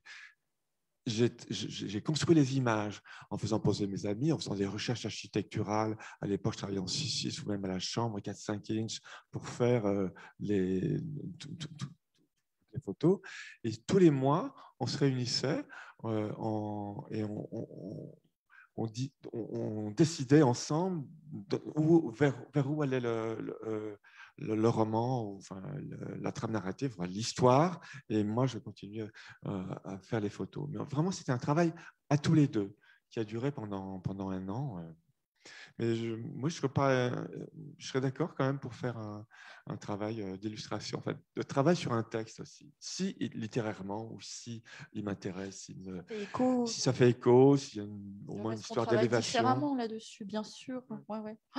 Parce que moi, je, je, je, conçois le livre comme une, comme une expérimentation et, et comme euh, offrir un, oui, mais dans ma démarche, tu vois, les mots ne peuvent pas s'intégrer. Les mots ne sont pas le point de départ, en fait, du travail de création visuelle. Jamais. Surgissent à la, au fil du tournage de page. Ils peuvent surgir au, tournage, au, fil du tournage de page ou pas. Ou pas. Parce que parfois, je pense qu'ils n'ont aucun intérêt. En fait, le mot, je vais le traiter au même titre que les formes, les couleurs, etc., comme un matériau poétique, c'est-à-dire un matériau qui va être aussi un support euh, à l'imaginaire, à voilà, ou un déclencheur. Ça, je, trouve que ce mot est super important. C'est la notion du déclencheur. C'est-à-dire qu'un livre, c'est pas fait pour tout mâcher. C'est-à-dire, c'est pas du pré-mâché, mais ça doit déclencher des choses. Donc, ça doit déclencher la parole ou l'imaginaire ou l'émotion, et que parfois il suffit d'un tout petit quelque chose. Voilà. Et, et, le mot pour moi a vraiment ce rôle-là. Ou les gestes, on revient en arrière, on soulève les exactement, Exactement. C'est un déclencheur. Euh, François, quel est ton prochain projet photo? Alors, c'est un imagé sur lequel on a déjà fait trois séries de photos, mais on n'est pas encore d'accord, on n'est pas encore au point, donc on, on avance. Euh, un peu de suspense. Bah, c'est bien aussi notre. ça, c'est le laboratoire. et, entre-temps, il sortira quand il sortira, donc pas avant un an. Entre-temps, on en fait un autre aussi sur un magnifique, euh, plus architectural, sur la Villa Udis 27 de Hélène Gray, euh, Rockwood Capartin. C'est en coédition avec la. c'est quoi C'est le musée. Non, Maison du patrimoine. Voilà. D'accord. Euh, Claire, est-ce que vous voulez nous parler de Qui suis-je et des portraits d'enfants? Et la ah, réaction, des, réaction des lecteurs. Alors, qui suis-je? Oui, c'est un, c'est un projet, euh, bien sûr, un peu à part et un peu singulier. Euh, j'ai été accueillie en résidence cette année-là dans deux lieux différents. J'ai eu une proposition de résidence à Villeurbanne, qui est donc dans la banlieue lyonnaise, euh, vous voyez tous hein, où c'est, Villeurbanne. C'était une proposition du réseau des, médiathèques et du service petite enfance. Et puis la même année, par le plus grand des hasards, j'ai eu une proposition équivalente dans une commune, mais aux antipodes, à Loudun, dans la Vienne, qui est une petite ville de 12 000 habitants, par euh, la directrice de la médiathèque et qui voulait que je travaille avec une sorte de, de relais multi-accueil. Donc je me dis chouette. À l'époque, je, finissais de publier euh, la série sur les mains. Et donc je, m'étais dit, en fait, je voulais faire un quatrième opus autour de, ces petites mains qui bougent. Et je voulais faire quelque chose autour euh, de la gourmandise, des aliments. Donc je suis arrivée avec euh, des sacs remplis, un peu comme Mary Poppins, de fruits, de légumes, de choses à manger, à se mettre en bouche. J'ai travaillé, je pense, une journée dans chaque ville et je suis rentrée chez moi et je me suis dit, je me fourvoie complètement. C'est-à-dire que non, ce n'est pas possible. Tout se passait sur le, sur le visage, sur la bouille. C'est-à-dire que tout ce plaisir, tout ce jeu, c'était là, sur le visage. Donc là, c'était hum, c'était particulier parce que c'était vraiment aussi un travail, entre guillemets, collaboratif, collectif. Hein. Donc il a fallu euh, revoir le projet et ça a été formidable parce que euh, on a fait euh, des réunions euh, d'information avec toutes les familles. Vous savez, c'est très difficile d'obtenir aujourd'hui des autorisations pour photographier des enfants. C'est un cauchemar. Et donc, je, me suis dit, non, là, il y a vraiment quelque chose de très, très chouette à, imaginer, à expérimenter. Hein. Moi, quand je, me lance dans un, un, projet comme ça, je ne sais absolument pas si ça va aboutir à un livre ou pas. C'est vraiment, on expérimente, on voit ce que ça donne et après, on verra. Et, je me suis dit quand même, j'ai refait le point en regardant un peu dans les bibliothèques. Je me suis dit, mais c'est dingue, il n'y a pas un bouquin où on voit des visages d'enfants pour des bébés. Voilà, à part euh, les plus beaux bébés du monde, euh, ou tous les plus, je sais comment il s'appelle, le livre historique qu'on connaît tous en noir et blanc. Euh, beaucoup de beaux bébés. Beaucoup de beaux bébés, voilà, qui est, vraiment le livre qui a fait date, voilà, en noir et blanc complètement. Et je me suis dit, mais non, il y a quelque chose à faire qui dépasserait la, la, photo de famille de l'enfant. Vous voyez ce que je veux dire? Et pendant un an, j'ai travaillé dans ces différentes structures. Donc, à, à Villeurbanne, bah, je pense qu'il y avait cinq structures petite enfance et à Loudun, il y en avait une. Et j'ai travaillé. Donc, ça voulait dire quoi? C'était un accueil en résidence. Donc, ça voulait dire que j'installais un studio photo dans la pièce de vie de ces jeunes enfants. Et moi, je vivais avec eux et on jouait. Et quand ils avaient envie, ils venaient avec moi il s'installait, on faisait une photo, mais je n'étais pas toute seule. Il y avait toute l'équipe de ces structures. Voilà. Donc, ça a été une très jolie euh, aventure humaine.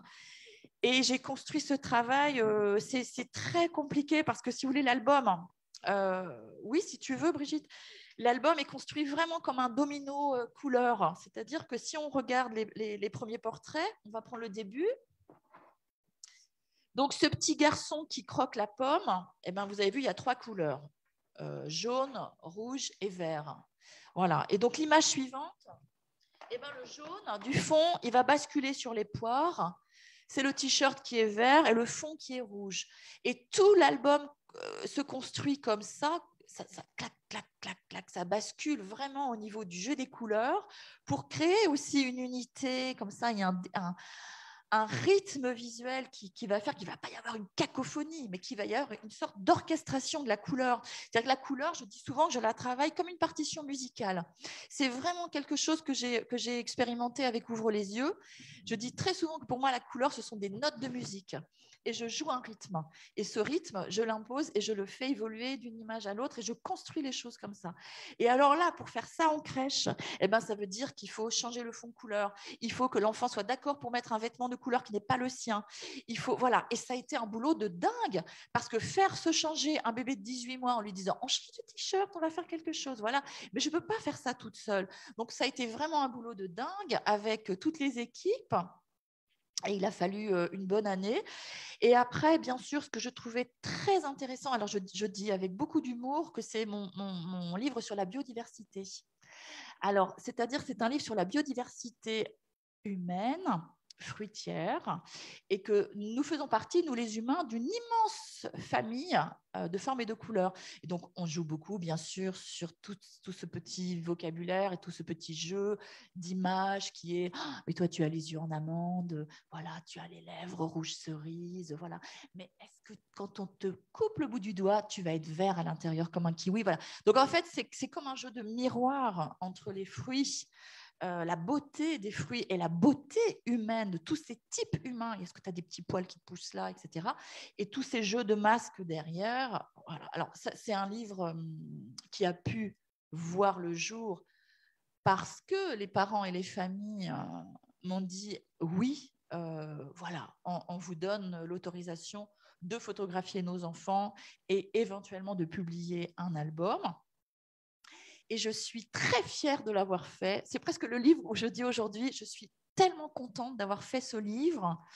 Euh, oui, tellement contente de l'avoir fait. Parce que humainement, je pense que c'est celui qui a la, plus belle euh, portée euh, symbolique sur le vivre ensemble. Et finalement, on est tous ensemble. Finalement, vos créations sont complètement collaboratives? Bah non, pas du tout. Ah non, non, pas du tout. Les autres, pas du tout. Celui-là, c'est très particulier, puisque regardez la différence. C'est que, est-ce qu'il y a de l'humain dans mes autres livres? Pas du tout. Sauf là, le premier, où je m'autorisais à mettre des mains. Voilà. Parce que travailler avec les autres, c'est hyper compliqué. Il faut qu'ils soient disponibles c'est super dur de construire un projet avec des personnes qui ne sont pas acteurs, vous voyez ce que je veux dire, ou qui ne sont pas comédiens, ou qui ne sont pas voilà, et de pouvoir travailler sur du long terme. On peut, on peut demander ça à personne. Tu es disponible là, euh, s'il te plaît, euh, j'ai besoin de faire une photo. C'est très compliqué. Donc les mains, bien sûr, j'ai réussi à faire ce théâtre de mains qui en jouant avec, avec différentes personnes, avec des proches et des moins proches.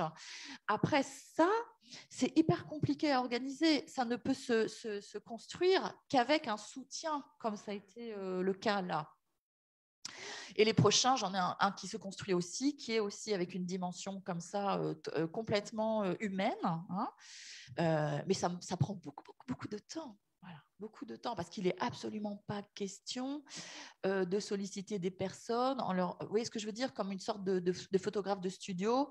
Ce n'est pas le but. Le but, c'est d'expérimenter des choses euh, avec du public, de faire comme des ateliers euh, participatifs. Oui, tout ce champ humain, je le construis comme ça. Voilà. Et c'est un peu nouveau dans mon travail. Hein. Ça, s'est vraiment construit presque à partir des mains où je me suis dit euh, mais oui, mais en fait, c'est très très chouette aussi euh, d'avoir des, des, bouts de, de, peau, d'avoir aussi cette sensualité, la présence comme ça, comme un théâtre d'objets. Puis après, ça a basculé sur le visage, et puis là, ça va basculer encore sur autre chose. Oui, mais, mais je les traite presque comme, euh, comme des présences de studio, au même titre que je, je, regarde vraiment toujours tout le jeu formel. Pourquoi j'ai choisi euh, ce, petit garçon pour faire la couverture, hein, qui s'appelle Idriss qui à l'époque avait 18 mois. Alors, des, petits bébés euh, à manger la pomme verte, j'en ai eu plusieurs hein, dans les différentes structures. Alors, pourquoi j'ai choisi celui-là? Eh ben, Regardez bien l'image, hein, c'est complètement dingue. La coupe de cheveux est totalement assortie à la forme de la pomme. Euh, on retrouve euh, voilà cet arrondi parfait, tout son visage, la coupe de cheveux complètement années 80. Hein, voilà, il sortait comme ça de nulle part, ce petit chouchou. Et en fait, il n'avait jamais mangé de pommes euh, à la croque. C'était la première fois de sa vie qu'il en mangeait une. Et donc, je pense que c'est l'enfant pour lequel j'ai le plus d'images. Je pense que j'ai 120 photos de ce gamin qui est resté exactement 40 minutes sur sa chaise et qui a mangé la pomme jusqu'au trognon. Donc, j'ai des images où il est de pommes, euh, voilà, il, y en a partout, il en a partout. Et en fait, comme le sujet n'était pas, bien sûr, de montrer des enfants en train de manger, ce que j'aimerais faire une autre fois, j'adorerais faire un livre là-dessus. C'est vraiment sur, surprendre des gens, et ça, c'est très difficile aussi à organiser, mais c'est un livre qui, qui, qui, En fait, je voudrais faire un livre où on voit les gens manger et où on voit les enfants manger à table, vraiment. Voilà, on ne voit jamais ça ça fait des années, donc j'ai quelques images, je le construis. Mais là, le propos n'était surtout pas de les montrer en train de les manger, mais de jouer avec, comme une sorte d'accessoire, de jeu, de, beauté et de lien avec la peau, le visage, et voilà. Et pour qu'on découvre ces fruits comme des objets esthétiques et comme des objets de gourmandise complète. C'est-à-dire, c'est pas que le manger, c'est manger avec les yeux, manger avec le toucher, manger. Voilà, c'est ça. C'était ça l'idée de cet album. Donc, c'est une petite coquinerie de ma part. Il se, la met en bouche, voilà, sur la, la, couverture de l'album. Mais c'est la seule photo où on voit un enfant euh, mettre les choses à la bouche. après, il n'y en a plus. Et justement, vous, parliez de couverture. Euh, la couverture, c'est la première chose que l'on voit d'un livre. Mm. Comment on décide de la photo qu'on va mettre en couverture? Comment on décide du titre? Quelle est la part d'intervention de l'éditrice sur cette couverture, sur ce titre? Et comment faites-vous votre choix? Alors, la couverture, c'est d'une part, c'est un vrai métier. Autant moi, je peux faire des pré-maquettes euh, vite fait sur, euh, euh, sur, sur, ordinateur, mais c'est pas du tout mon métier, notre métier. C'est vraiment quelque chose. Le graphisme, exceptionnellement, c'est super important. Et à chaque fois, on fait appel à, à, une, graphiste. Euh, qui décide. Et, c'est un travail à plusieurs. De toute façon, on fait plusieurs, souvent, plusieurs couvertures, plusieurs essais, et euh, plusieurs essais typo également. Et voilà, c'est vraiment un travail à plusieurs entre l'éditrice. Moi, j'ai presque pas mon mot à dire parce que c'est tellement, c'est vraiment notre métier. C'est super fort une image de, une image de, enfin, de réaliser une couverture. Il y a le graphisme, enfin, l'image, tout, tout, tout, est important. Il doit synthétiser le contenu, enfin, elle doit synthétiser le contenu de. Ou faire un parti pris, soit le synthétiser, soit en faire un parti pris qui va être euh, absolument. Alors moi, je travaille tout ensemble. C'est-à-dire que je fais euh, la typo, la maquette, je vais jusqu'au bout du projet. Et si je peux aller imprimer le livre, Brigitte me met dans le train ou dans l'avion et je dis j'y vais. C'est-à-dire que pour moi, c'est vraiment un tout. C'est-à-dire que la couverture, je la construis vraiment aussi au, moment où je construis le livre. Parce que cette couverture, c'est presque le déclencheur euh, de, tout ce qui va venir derrière. Et euh, c'est souvent une image que je réalise presque en amont. Voilà. Mmh. Et que je mets de côté en me disant, euh, ça, c'est la couve. Voilà, il y a quelque chose. Et là, par exemple, sur les nouveaux projets sur lesquels je travaille, euh, la couve était là dès le début. Et là, je viens de refaire une couve sur un autre projet où je me dis, oui, il y a quelque chose. Voilà. Et après, je cherche la typo. Après, moi, je suis très, très simple et minimale sur les recherches de typo, parce que comme les mots n'ont pas euh, voilà, une présence, euh, mais je recherche toujours des typos euh, plutôt élégantes, plutôt légères, qui ne vont pas du tout prendre trop de place par rapport à l'image. Et ce que je recherche aussi toujours, c'est une forme de discrétion. Je ne mets jamais mon nom en couverture mais absolument jamais sur aucun de mes albums. Je mets toujours mon nom sur la tranche, là, voilà, avec l'éditeur. Et ce que je souhaite finalement dans la couverture, c'est juste une invitation euh, visuelle comme ça, que l'image prime complètement, qu'on soit presque dans un... Voilà, et le, titre Et le titre, voilà. Il est choisi au démarrage aussi alors le titre, non, je, je oui, il, est, il, est, là, mais après il y a des variantes, il y a des variations, il y a, il y a je peux chercher longtemps un titre.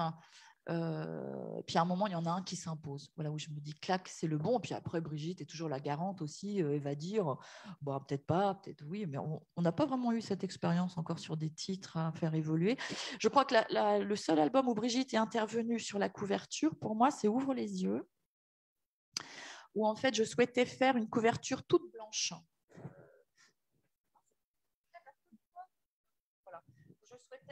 La neige euh, aille derrière aussi, et où en fait Brigitte m'a dit euh, ah mais non franchement ça serait chouette si on avait une, photo couleur qui, qui fasse aussi euh, voilà hiver et puis hop qui nous, qui nous amène aussi à se dire que dans cet album il y aurait, il y aurait du printemps, il y aurait de la couleur. Et, je pense qu'elle a eu raison voilà vraiment. Et je pense que c'est la seule fois où, où tu m'as guidée sur une couverture où tu m'as dit peut-être autre chose voilà. Et là, je reviens sur euh, celui-là, euh, dans le titre, euh, c'est Patrick Couratin qui l'a trouvé. vroom Vroom, je ne sais pas comment parler d'un livre sur, les, sur tout ce qui nous transporte, du, vélo à la fusée. Et je me rappelle, Brigitte m'avait appelé un, un, matin en me disant Ça y est, on l'a trouvé. C'était génial, Vroom Vroom plus simple. Parce qu'en fait, le titre, moi, le titre euh, m'aide à, construire le sens de l'album. C'est-à-dire que je m'en sers vraiment comme un point d'appui. Euh, très souvent, je cherche une image forte pour démarrer un projet et une idée de, titre. Et même si le titre évolue, c'est pas grave. C'est parce que, en fait, ça m'a donné un fil conducteur euh, pour porter aussi toute la construction de l'album. Parce que le titre, c'est comme une sorte de c'est une invitation très forte et il faut, que le titre soit prêt à la hauteur ou, que l'intérieur de l'album soit à la hauteur du titre. Hein. Et si cette invitation après n'est pas honorée, il y a un problème.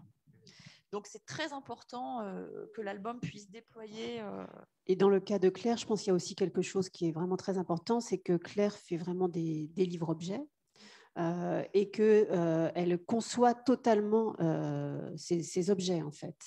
Donc ça aussi, c'est une approche, euh, bon, ce sont des livres photos, mais en plus, elle conçoit totalement ces objets. Ça, c'est vraiment euh, une approche aussi très particulière. Hein. Ce n'est pas le cas de tous les, de tous les auteurs. Hein.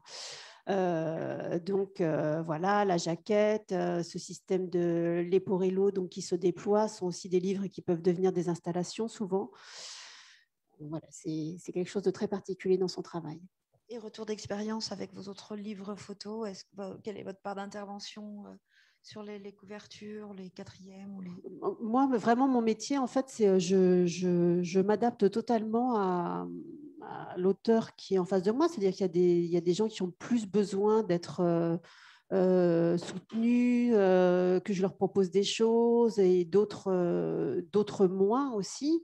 C'est vrai que la façon que, que j'ai de travailler avec Claire, Claire me, souvent m'appelle en me disant ah, il faut que tu passes voir des images et tout. Donc je, vais chez elle, elle me montre des images et, je sais très bien que suivant ma réaction, elle va euh, euh, voilà aiguiller euh, dans un sens, dans l'autre, parce que elle, elle, elle, observe en fait la façon dont je réagis. Je sais très bien, hein, je la vois bien. Donc après, je sais qu'elle va pas tout prendre. Hein. Souvent, elle me dit oh non Brigitte non. OK Claire, OK. Et puis, c'est un espèce de jeu comme ça aussi, euh, de ping-pong. Moi, je sais, très bien que des fois, je lui dis des trucs, pas forcément pour qu'elle aille de ce côté-là, mais pour. Euh, voilà, des fois, j'appuie, je sais certainement juste un endroit où elle se questionnait. Donc, elle va rebondir aussi euh, par rapport à ça. Par exemple, sur, sur sa perlipopette, quand j'ai montré des images à Brigitte la dernière fois, ce qui a été super intéressant, c'était la notion de densité visuelle, c'est-à-dire qu'il y avait beaucoup de, choses graphiquement sur des doubles pages. Et sa proposition, ça a été peut-être de desserrer voilà, de desserrer, et c'est ce que j'ai fait. C'est-à-dire, j'ai desserré, j'ai recassé des doubles pages et j'ai réintroduit des nouvelles séries pour que ça respire davantage. Et, ça, c'était très intéressant de voir, euh, voilà, parce qu'en fait, euh, je, pense que quand on, est, on travaille aussi, il y, a des, moments où on est un peu tout hein, on est un petit peu plongé dans des choses, voilà, et qu'à un moment, il faut aussi. C'est pour ça que l'idée du temps est super importante. Des fois, je vais mettre de côté un travail et puis je le reprends euh, trois mois ou quatre mois après, je le re-regarde et je fais Oh non, alors là, ça va plus du tout. Il va falloir quand même revoir les choses. Hein. Et donc, ces étapes aussi de temps qui passe, de digérer, permettent de revoir ses propres images, de se dire tiens maintenant là il va falloir ouvrir et parce que la notion de respiration est super importante. Il faut respirer dans un album. Et cette respiration elle est nécessaire pour que l'enfant ou le lecteur il trouve sa place. Et il trouve aussi euh, voilà la, possibilité de de, parler, de, verbaliser, de ressentir. Et c'est vrai qu'on peut, on, peut parfois, par, euh, par désir de, de, faire bien les choses, peut-être trop en faire. Et que le plus difficile dans tout ce travail, c'est d'épurer, de simplifier, voilà, de faire que oh, les choses vont, vont être là, mais, mais, très fortes, très évidentes, voilà, et avec une grande place pour le lecteur. Et c'est presque le plus difficile, je crois. Hein. Euh, tu, tu, évoquais euh, Patrick Couratin euh, tout à l'heure, donc qui était très présent au début des grandes personnes. Et c'est vrai que lui, bon, c'est un, un, graphiste hein, qui faisait beaucoup d'affiches de spectacles vivants. Des fois, quand on parlait d'une couverture, il me disait bon bah maintenant là, t'enlèves tout ce qui sert à rien. Hein. Alors, en effet, bah, on enlève tout ce qui sert à rien. Et on essaye de garder vraiment le le truc, vraiment l'image forte, directe. Et puis, euh, voilà, on enlève la crème, les paillettes, euh, le machin, et on garde vraiment que le, euh, vraiment le, la, structure et le truc comme ça, vraiment direct, qui va faire que bah, la couverture, on va la lire tout de suite, et c'est pas une espèce de brouillard visuel on a du mal à se repérer. Et c'est vrai que le dernier rendez-vous que j'ai fait sur le travail de Claire, euh, il y avait toutes ces images qui étaient tellement fortes en fait que l'une en face de l'autre sur la double page, ça se euh, voilà, on euh, du coup, on perdait en fait toute cette, quand on perdait une partie de la force de ces, de ces images parce que c'était, ça devenait, ça devenait trop. Donc voilà, c'est aussi tout ce, tout ce, tout ce travail là. Euh, mais, c'est prendre son temps. Exactement. Mais ça, je travaille de la même façon que ce soit de la photo ou autre chose. C'est pareil. Hein, ça ne change pas ma façon de travailler, moi. Alors, sur les couvertures, ce qui est important, ce que je, me pose toujours comme question, euh, parce que moi, moi, quand je vais dans une librairie, ça me panique. Hein. C'est-à-dire quand je vois tous ces livres partout, merveilleux. Euh, alors chez, moi, c'est pareil. Il y a des livres partout parce que j'adore les livres, donc j'en ai énormément. Et quand je travaille sur une couverture, je m'amuse très souvent à positionner comme ça une image. Je sors plein de livres et je mets euh, mon éventuelle image de couverture. Et là, je me dis, ouais, ça marche. Parce que justement, bing, il se passe un truc ou que voilà, c'est complètement différent. Et c'est ça qui m'intéresse. C'est aussi qu'une couverture, eh ben, elle puisse faire un clin d'œil. Hein. Voilà. Quand je vais dans une librairie ou quand je vais dans une médiathèque, très souvent, j'ai une sélection euh, visuelle hein, de premier abord comme ça. On fonctionne tous comme ça. On va, on va être attiré par des choses. Hein. Donc, notre façon de, travailler, c'est aussi de vouloir attirer euh, les lecteurs sur ce qu'on a envie de leur faire découvrir. Donc, il faut que ça, ça fonctionne. François, la respiration aussi est nécessaire?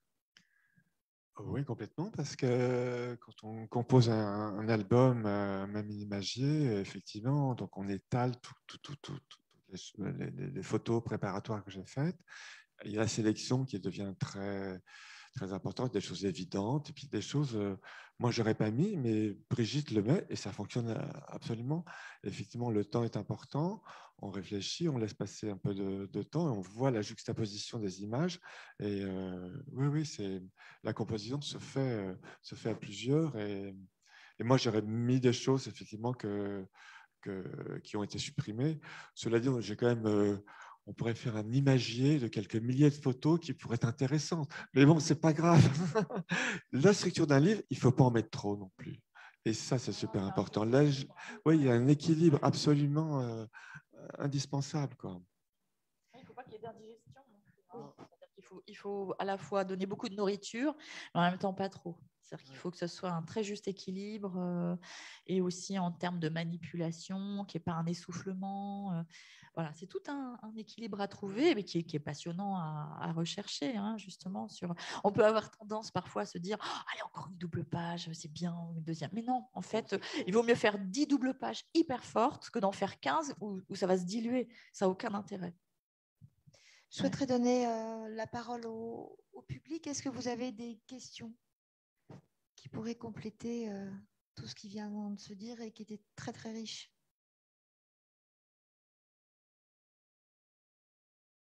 Des questions en distanciel, Montserrat.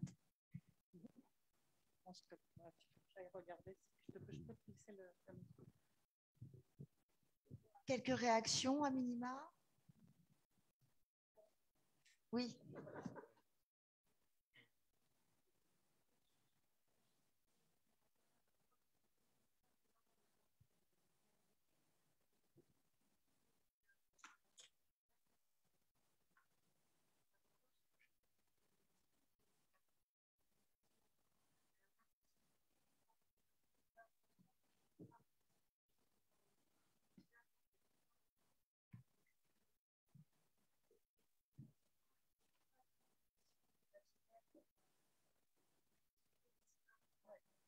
Vous-même, vous êtes libraire ou?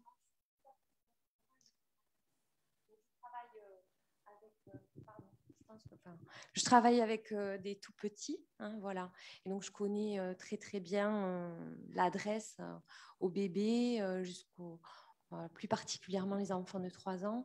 Et je crois que quand j'ai rencontré votre livre, c'est le premier, c'était Ouvre les yeux. Voilà, et c'était une vraie rencontre pour moi. je me suis dit, ce livre, il est génial, oh, c'est trop bien, j'adore cet artiste. J'ai vraiment apprécié, euh, enfin voilà, euh, j'allais dire la photo dans cette, euh, dans cette utilisation, quoi, j'allais dire narrative. Hein, et dans ces correspondances, ces jeux de double page. Et, là, à ce moment-là, j'ai travaillé avec des enfants, avec, j'allais dire un peu avec tous les âges de la vie. Euh, puisque c'était en bas d'immeuble, donc c'était euh, avec des familles, euh, de l'interculturalité, des grands-parents, des ados, des tout petits. Et, je trouvais que l'intergénérationnel, justement, dont vous parliez tout à l'heure, voilà, enfin, en tout cas, c'était ce dont je voulais témoigner. pour moi, ça s'adresse à tous et c'est ça que je trouve intéressant. Et que ça et qu'on puisse offrir du beau et de l'esthétique à des tout petits autant qu'à des adultes qui les accompagnent et dans de l'émotion et du partage. Voilà. Merci. Oui, bien sûr, mais moi, rien ne peut me faire davantage plaisir que, par exemple, quand... sur les salons, on a la chance de pouvoir euh, rencontrer, euh, entre guillemets, nos acheteurs-lecteurs. Je pense que c'est le seul moment finalement, dans les moments de dédicace. C'est pour ça qu'il ne faut pas les rater. C'est des, des, moments pas toujours rigolos pour nous parce qu'on est derrière une table et qu'on va passer une journée, euh, mais en même temps, c'est capital parce que c'est là où les gens euh, vont vous livrer une petite parole euh, intime. Vous voyez ce que je veux dire? C'est-à-dire que le, côté euh, l'auteur à distance qui peut impressionner, ben non, on est là derrière une table, ils se rendent compte qu'on est des gens complètement normaux comme eux, et puis que là, il va y avoir un échange de paroles possible. Voilà, et ni François ni moi ne faisons partie des stars éditoriales, donc les gens s'adressent à nous tout à fait normalement. Hein. Et, ce qui est formidable, c'est que par exemple, un, un album comme Ouvre les yeux, eh ben moi, j'ai eu plein. Alors, il y a beaucoup de grands-parents qui viennent acheter des livres aussi sur les salons pour les enfants. Il n'y a pas que des parents. Il y a aussi beaucoup de grands-parents. Et euh, plein de fois, j'ai eu des grands-parents, des grands-mères qui me disaient euh, eh ben, Je vais me l'acheter pour moi. Et ils le regarderont chez moi, avec moi. Voilà. Et ça, c'est des moments aussi très chouettes, euh, ou des ados. Voilà. Il y a eu beaucoup d'ados à, regarder Ouvre les yeux aussi, comme une sorte d'éveil euh, à la photographie. Voilà, un début de, de, de, un désir. On sait qu'à l'adolescence, euh, bah, il y, a, des choses comme ça qui, se développent. J'ai eu beaucoup de jeunes filles qui m'ont dit Ah ben moi, on va prendre ce livre parce que ça nous donne plein d'idées pour faire des choses et tout. Voilà. Et ça, c'est très important qu'un livre euh, je les conçois aussi beaucoup comme ça, c'est-à-dire qu'un livre puisse être une sorte de, de, projection de désir pour les autres hein, et, une projection de désir de faire et de jouer. Ouvre les yeux, on peut très bien faire des cueillettes à l'infini. On sait tous ce que c'est que la promenade euh, avec un petit enfant où euh, nous, on n'a qu'une envie, c'est de faire 3 km, alors que le bébé, bah, il a envie de jouer dans le mètre carré. Hein. Ce qui l'intéresse, c'est explorer ce mètre carré et puis ramasser des minuscules choses au sol. C'est comme ça que je l'ai conçu, album. Mais, finalement, tout ça, c'est possible aussi après l'album, c'est-à-dire qu'on peut s'amuser euh, avec des jeunes enfants euh, à aller faire euh, l'exploration d'un petit jardin et, ramasser plein de petits matériaux et après jouer, jouer avec, les mettre en scène, les regarder, les installer et, voyager. Chacun des albums est aussi une invitation à, à, faire, à jouer avec le réel, à, le prendre, à en prendre possession mais pas que en prendre possession par, euh, par la connaissance, hein, en prendre possession aussi euh, euh, physiquement et sensoriellement. C'est-à-dire qu'on peut très bien... on voit comment agissent les petits-enfants aussi dans l'espace. Euh, ils vont prendre euh, un caillou et puis ils vont le triturer. Euh, toute cette gestuelle de l'enfant, c'est très très belle aussi parce qu'ils sont souvent dans la matière. On voit bien comment ils patouillent, comment ils jouent avec tous les matériaux, comment que c'est pas que à table. Vous voyez ce que je veux dire? C'est un petit peu dans tous les espaces de vie. Ils, ont une découverte du monde qui est complètement en lien avec les sens, avec le corps. Et ça, c'est super important parce que, en fait, moi, mes livres, c'est presque une invitation à continuer ça. Et imagine, c'est tout blanc. Je fais par exemple un atelier qui s'appelle Yaourt Art, où euh, on peint avec du yaourt. Voilà, c'est-à-dire qu'en fait, on va, on va développer cette proposition qui on va, on va s'emparer d'un matériau et prolonger le, le, voilà, le jeu avec une matière qui est une matière quotidienne. Mais comme les enfants le font spontanément, ils le font tout seuls, sans moi. Merci beaucoup. Une autre question. Moi, je me demandais s'il y avait des libraires dans la salle. Très bien. Euh, quelle est votre expérience sur euh, le, la fréquentation du livre de photographie dans votre librairie? Est-ce que les gens cherchent des livres avec des photographies?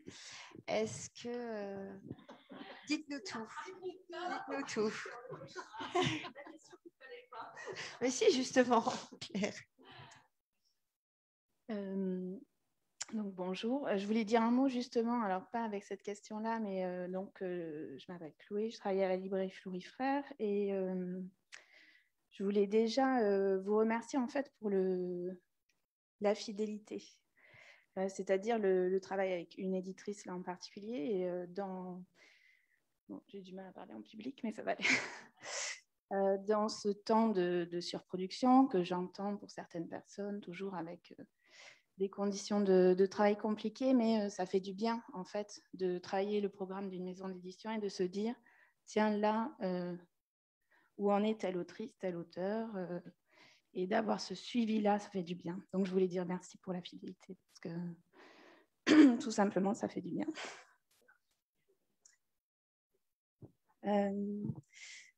L'accueil, l'accueil, il est différent. Après, c'est ce qu'on en fait, en fait. C'est ce que un libraire ou une libraire en fait dans une librairie. Alors, euh, là où je travaille, euh, ça dépend de la personne que j'ai en face. C'est toujours pareil. Est-ce qu'elle est, est qu'elle a envie de dessin? Est-ce qu'elle a envie de photo? Est-ce qu'elle est prête à s'aventurer? J'ai beaucoup aimé, euh, parce que s'aventurer, c'est la photo, en fait, aujourd'hui. Et je pense à une collection de livres pour les tout petits avec de la photo que j'aime pas du tout. Euh, euh, où là, il n'y a pas de construction, c'est de l'achat d'images euh, qu'on va trouver partout, qui rassure certainement certaines personnes, mais qui ne les... où il n'y a pas la création, pour moi. mais si on me le demande, par exemple, je vais expliquer que pour moi, ça n'a pas d'intérêt. Donc, en regard, j'ai autre chose. ensuite, toujours maintenir avec les personnes qui auraient peur de ces univers-là, euh, maintenir le discours de l'enfant est prêt à tout, en fait. C'est nos barrières d'adultes, c'est toujours, euh, c'est toujours le même sujet. Parce que vous sentez un rejet euh, de, la part de vos clients par rapport à la photo et donc, pas, forcément, mais il, en existe, bien sûr. Tout le monde c'est trop. Il faut le, le, beau du crayon pour certains. Enfin, je ne sais pas, c'est très personnel après, mais c'est là où c'est notre travail, en fait. C'est d'accompagner, d'amener de, à, à, ces livres-là. Après, c'est c'est pas plus dur qu'autre chose. Je pense au livre de. Je pense qu'il y, y, a une évolution quand même sur les jeunes générations, sur les jeunes parents. Moi, je vois euh, plein de jeunes parents qui sont tellement à l'aise avec la photographie qu'il y a aussi quelque chose de très naturel. Hein. Peut-être qu'il y a aussi quelque chose qui va évoluer. Ouais. Ouais. ouais. Et puis, bah oui, parce qu'ils vivent complètement avec. Euh, avec l'image, avec euh, le téléphone. Ils photographient énormément eux-mêmes leur vie, le quotidien. Il y a quelque chose de très spontané. Et donc, je pense que quand on partage déjà quelque chose, et, après, le, peut-être l'enjeu, c'est justement euh, de leur montrer qu'on va au-delà voilà, de cette photographie presque banalisée. Hein qui finalement euh, ne, ne, ne, ne, va pas être forcément euh, une ouverture sur grand-chose pour les enfants, à part une sorte de parasitage mmh. permanent. Hein. Donc c'est plutôt l'idée, c'est de sortir de ce champ de la, de, de la surproduction d'images actuelles, parce que ça, on n'en parle pas, mais ça fait quand même partie du débat dans lequel on est. C'est-à-dire qu'aujourd'hui, les enfants sont noyés d'images, noyés de photographies et surphotographiés. C'est-à-dire, je pense que jamais dans l'histoire de l'humanité, les enfants n'ont été autant photographiés qu'aujourd'hui. C'est quelque chose à dire absolument. C'est-à-dire qu'autrefois, on faisait quand une photographie? On faisait une photographie à la naissance du bébé. Hein. on a tous les photos des grands-parents euh, qui ont été photographiés, euh, tout petit bébé, nu sur une peau de bête. Moi, j'en ai plein. Ils sont magnifiques. Mon papa, tout nu sur une petite fourrure. voilà. Et puis après, on avait une photographie de l'enfant un peu plus grand, où certainement il avait l'habit du dimanche avec un très joli petit costume, il pose bien droit comme ça, etc. Et puis après, voilà. Après, il y a eu, vous avez la révolution de la photographie couleur, le développement, euh, on va dire la démocratisation de l'appareil photographique, qui correspond aux années 70, 80. Euh, non, mais il faut repenser à tout ça. Où d'un seul coup, en, les, papas souvent se lançaient dans la photographie. Ça a quand même été très longtemps une histoire de euh, masculine, la photographie. Euh, ça, faut le dire aussi. Aujourd'hui, c'est presque l'inverse. Il y a beaucoup de femmes photographes, mais il y a une époque, il n'y avait que des hommes. Chez moi, par exemple, qui prenait les photos? Mon père. Mon père prenait les photos et mon père adorait ça. Donc, on partait en vacances. Moi, je suis la cinquième de cinq enfants. Et il nous couvrait de, de, photos. Il faisait des diapositives. Et à la fin des vacances, on faisait le diaporama. Et l'hiver, on faisait les soirées diapositives. Et c'était merveilleux. Il y avait ce côté magique où on éteignait la lumière, on lançait le carrousel. Vous voyez ce que je veux dire? Bon. Et ça, c'est un peu l'époque où les gens faisaient une photo euh, importante eh ben pour l'anniversaire. Voilà, on prenait l'enfant ou la famille en photo quand il y avait une réunion de famille, quand il y avait voilà. Mais Aujourd'hui, ça, c'est pulvérisé.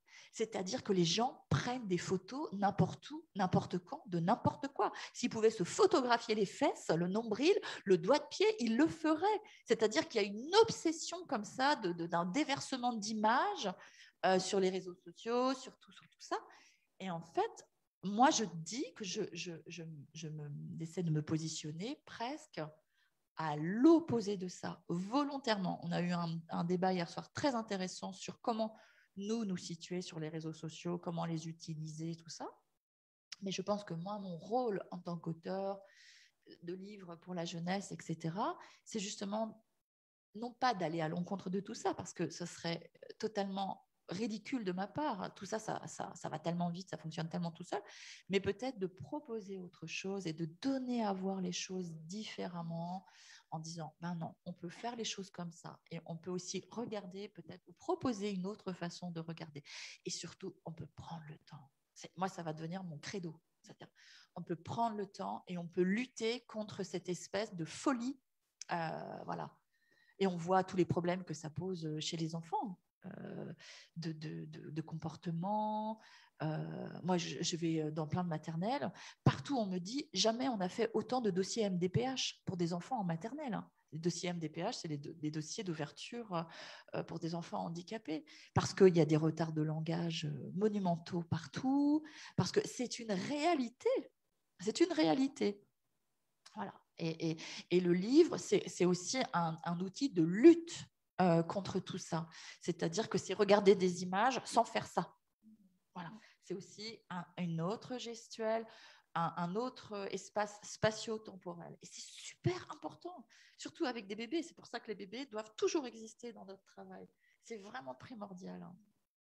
je voulais ajouter euh, une, une petite technique. Mais l'avantage, c'est qu'avec les tout petits, ils sont très souvent, si le parent vient avec l'enfant dans la librairie, c'est que du plus parce que moi, je fonctionne avec euh, l'enfant. Je mets d'abord l'enfant. C'est-à-dire que même si le parent me demande, je vais aussi glisser un livre dans les mains de l'enfant, euh, dans une pile de conseils euh, où je laisse la personne, parce que si le parent ou la personne qui accompagne n'est pas à l'aise avec le livre, elle va pas savoir quoi faire aussi. Donc, et c'est là où ben, on glisse un livre photo, on, glisse un livre de Lucie Félix, si, euh, si la personne en repart avec, c'est tout, c'est tout gagné, quoi. C'est que du plus.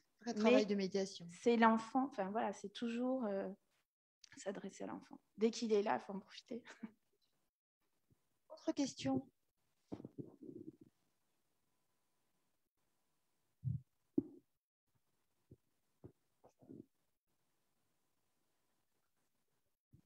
Ah oui, à distance. bonjour. Moi, je suis bibliothécaire, mais ça n'a rien à voir avec la question que je vais poser. Euh, non, c'était juste euh, savoir quels sont les artistes qui vous inspirent, vous plaisent en ce moment dans la, littérature pour la jeunesse, que ce soit des photographes ou des euh, dessinateurs, peintres.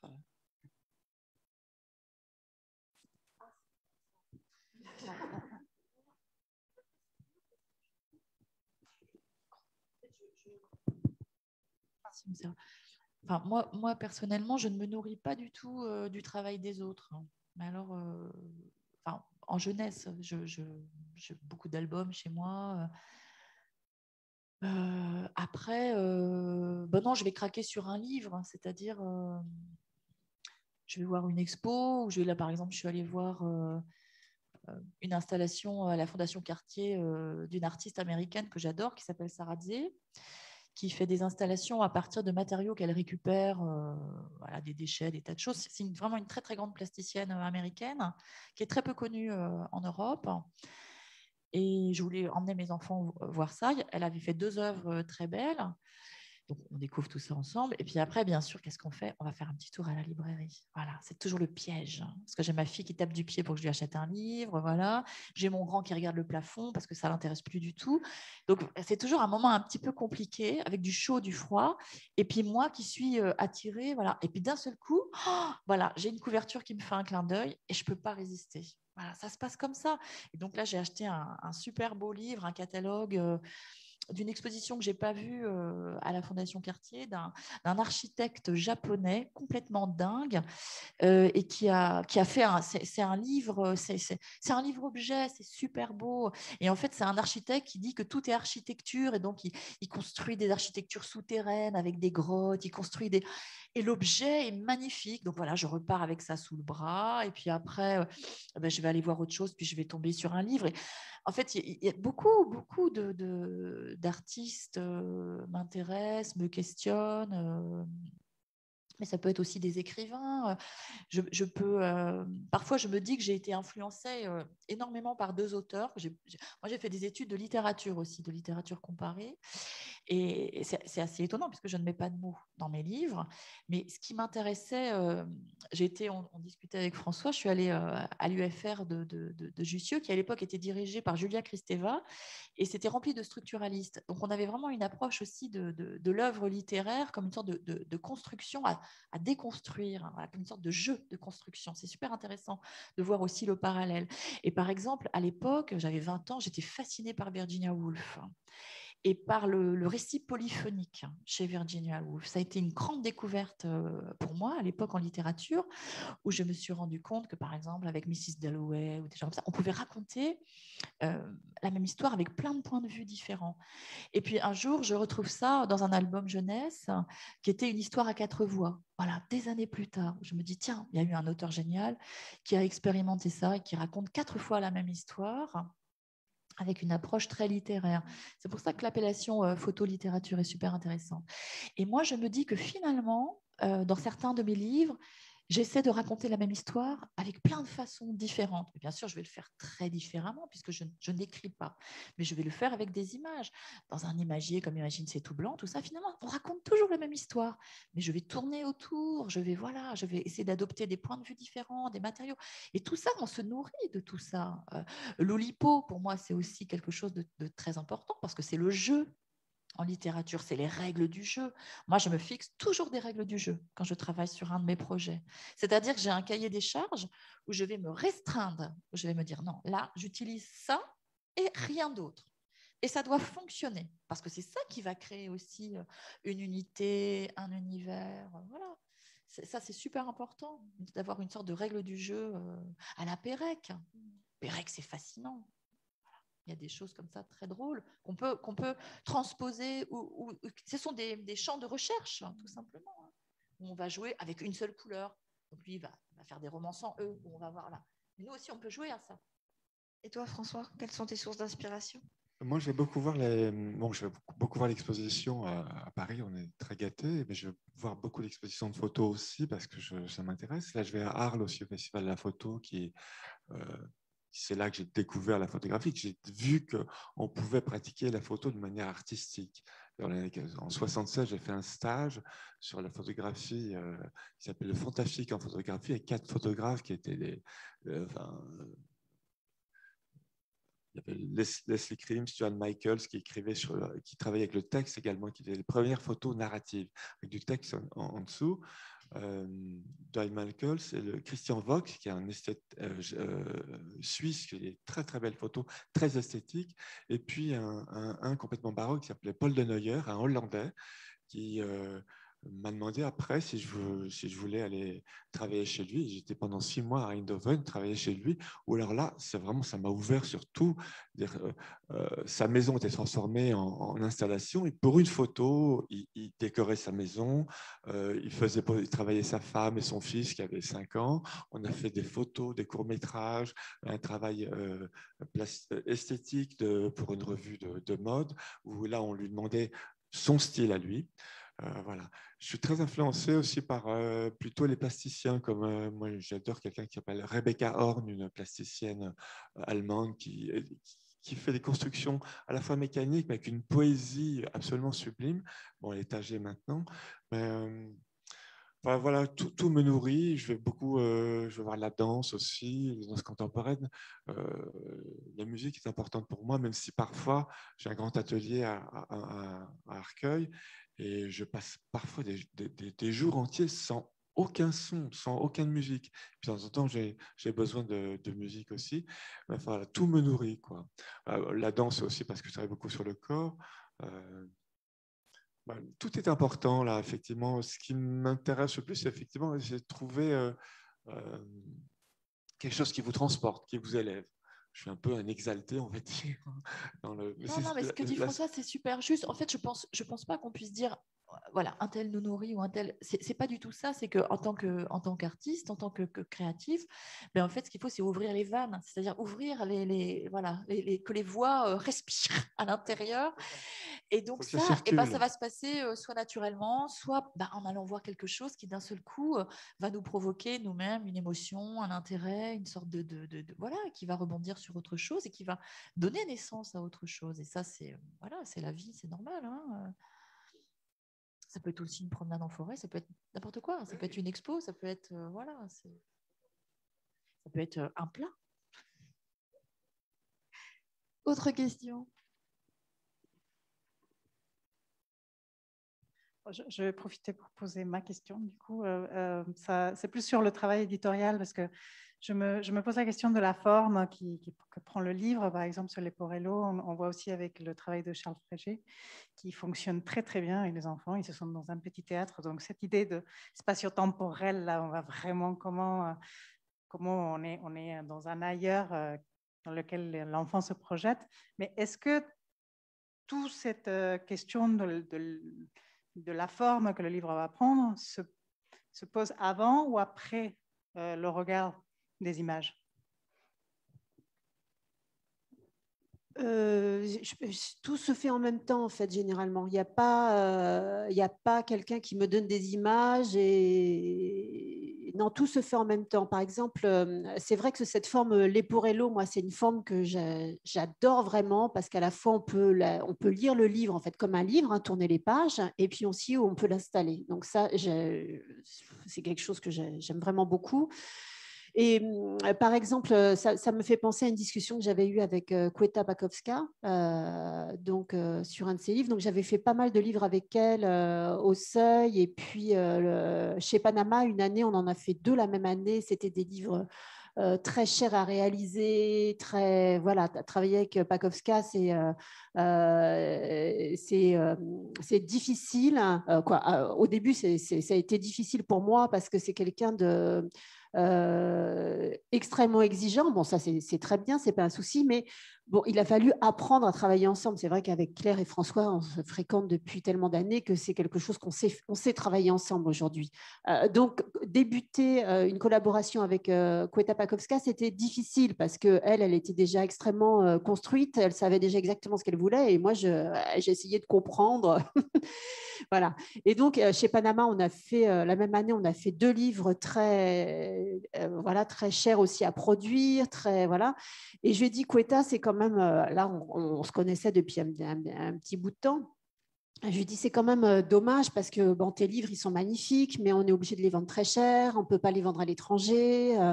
Euh, donc, j'aimerais bien que tu, si c'est possible, pour ton prochain livre, si tu pouvais réfléchir à, des, un livre moins, moins lourd financièrement. Voilà, des livres qu'on puisse aussi vendre ailleurs. Euh, moi, ça me, je trouve ça toujours très frustrant aussi quand on sait que les livres chers, déjà, on, on peut les vendre qu'en France. Hein. on n'arrivera pas du tout à les vendre dans d'autres pays.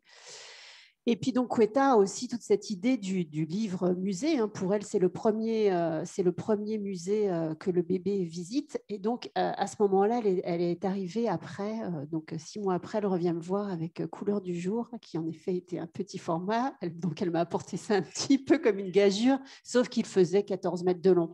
Et je me suis dit bon Brigitte, laisse tomber. Mais bon, c'est un livre, c'est un livre super. Euh, c'est vraiment un livre, euh, un livre formidable. Mais bon, Quetta, voilà, elle arrive, quand elle me montre la maquette, en fait, il y a déjà tout. Euh, c'est hallucinant, c'est-à-dire qu'elle a collé des petits bouts d'aluminium à l'endroit où elle voulait des fers à doré argentés. Euh, euh, on a mis au point un noir pour elle, un rouge pour elle. Donc maintenant, voilà, quand elle me donne un dessin, je sais qu'on va utiliser tel noir, tel rouge avec tel pourcentage de couleur. Voilà, c'est tout un.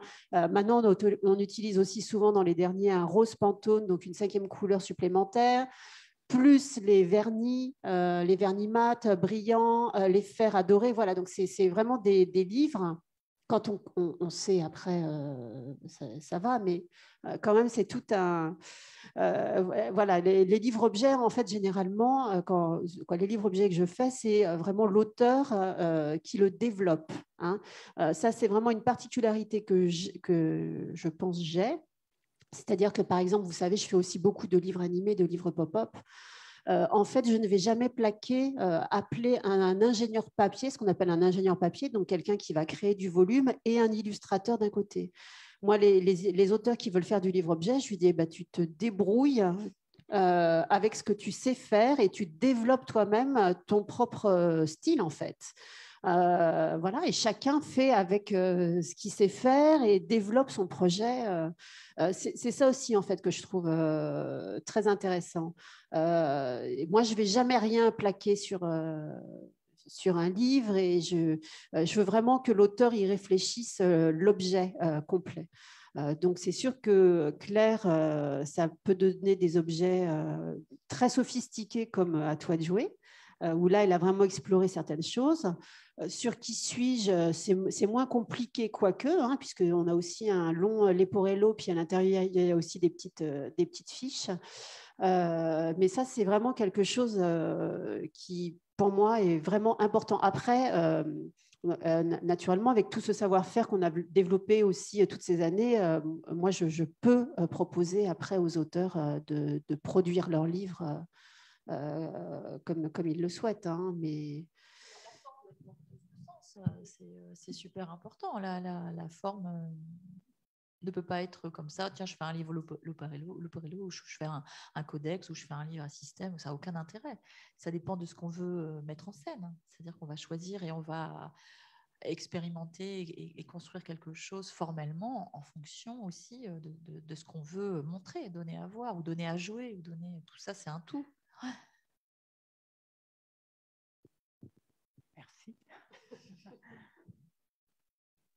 On n'a pas du tout de questions en distanciel, Montserrat? Non, non, non okay. il n'y a pas eu. Euh, J'avais regardé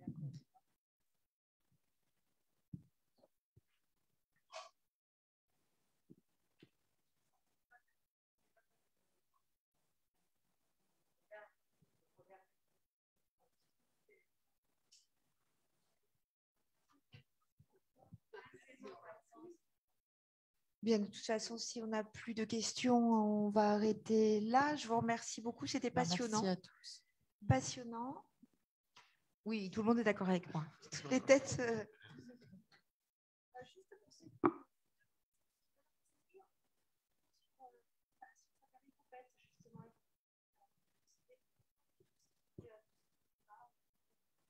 Et un tour dans l'exposition. Bah, merci beaucoup, en tout cas, de nous avoir accueillis ici. merci. merci infiniment.